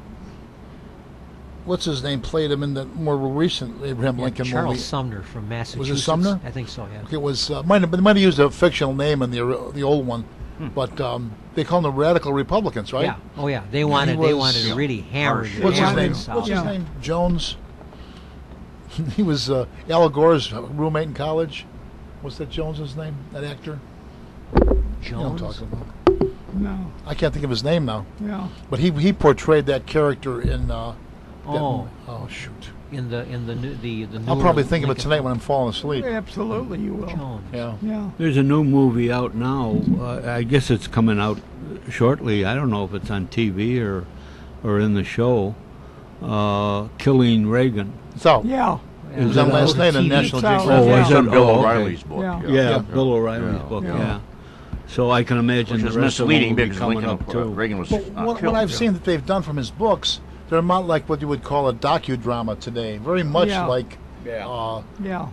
as much as close as they can to represent what happened, and uh, they show quotes what's actual from the letter or something someone said. Yeah. They're interest, They're interesting. Yeah. The, the, Yeah. the, Oh, yeah. the book about Reagan has caused a lot of controversy, particularly amongst men that uh, who served with Reagan, because apparently O'Reilly claims that Reagan was already showing the signs of Alzheimer's when he was president. It seems to me that the, that's the premise that Reagan was beginning to lose it, and, and this has been adamantly denied by men that, that worked with him at that time. That this Yeah. is that there, that's a slur on Reagan to suggest that his mind was going while he was still in the White House. Yeah. Well, he came back uh, to make that speech at the Republican convention years after he was, and he was 100% Reagan Yeah. there. There was no doubt about yeah. that. Yeah. I just saw that too. Uh, as I said before, uh, one program was about different contenders over the years, and this one was about Goldwater and Reagan and how one campaign led to the other. And I just, you know, where are people like that today? You know, Yeah. yeah. Well, we're getting to the end of the We program sure here, are. guys. Uh, before we go, our next I wanna program is November 21st. okay. And what about Have one more happy thing before we go? One more. Uh, November 10th, we have. No, November 10th, anybody that's uh, interested, they're having a memorial uh, for my son John Oh, yes. at the uh, Tasca Firehouse Yeah. On Irving Park Road, and this will be a, uh memorial plaque. This is where he was uh, slain, and uh, slain everybody's as a state trooper, uh, yes, just line of duty. right, Line of duty, line of duty death, and uh, uh, there'll be refreshments and so forth. They're doing one great job. They're- Uh, they're- they're the state dedicating are- the they're inter- dedicating the plaque, and that area will be dedicated uh, uh, around there. Around the interchange between 290 355 and yeah, 355, right? What, So- what right. time is that? 10 o'clock. 10 o'clock. 10 o'clock. Get 10 the word a.m. out. Before we And- go, one more thing. Thanks to Bill Kugelman. Thank you, Yep. Bill. John Escashelko. Rich Announcer, Lang. I know your name. Announcer Rich Lang. Tom McKenna, who had a cut out early. He's getting docked for that now. Oh yeah. Oh yeah. Uh, what's your name again? Ken Little? Little Yeah, Ken? Little Ken. Little. Yeah, Little, Little Ken. John Little- Yeah, Little Little John? John Little. and I thank myself. We want to thank our peanut gallery. Thank yourself, Yeah. our audience. Yeah. Thanks to John John DeVita, and thanks wherever you are, Joe Gentile, for leading us We're to this. starting And over. He's Before we- listening. He's Before we listening. go, before we go, remember, history is much more than a book you keep on the shelf. That's it. Dun, dun. Happy Halloween. And We it's wish hard to see thank you. Kevin of Everything Jack all lit up FM, behind you. WRHS 89.7 FM for broadcasting our shows over the Ridgewood Radio Network. Recordings of previous Meet the Chicago Historians programs are available for your listening pleasure via the internet at www.windycityhometown.com. We want to thank especially the executive producer of Windy City Hometown Entertainment Network, John Seconda. On behalf of everyone associated with our Historians program, we thank you for listening. This is your announcer, Rich Lang. So long until next month.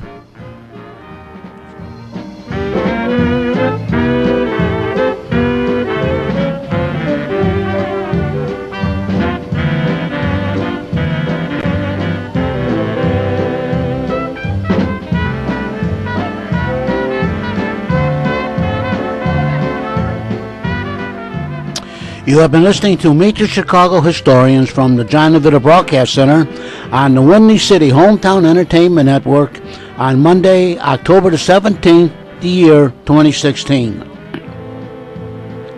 This broadcast was directed was produced by Jack Ryan, directed by John DeVita, and a special thanks to our executive producer of Windy City Hometown Entertainment Network, Mr. John Shikanda. Today's program was pre-recorded on Monday, October the 17th, the year 2016. Until next time, thanks for listening and be safe.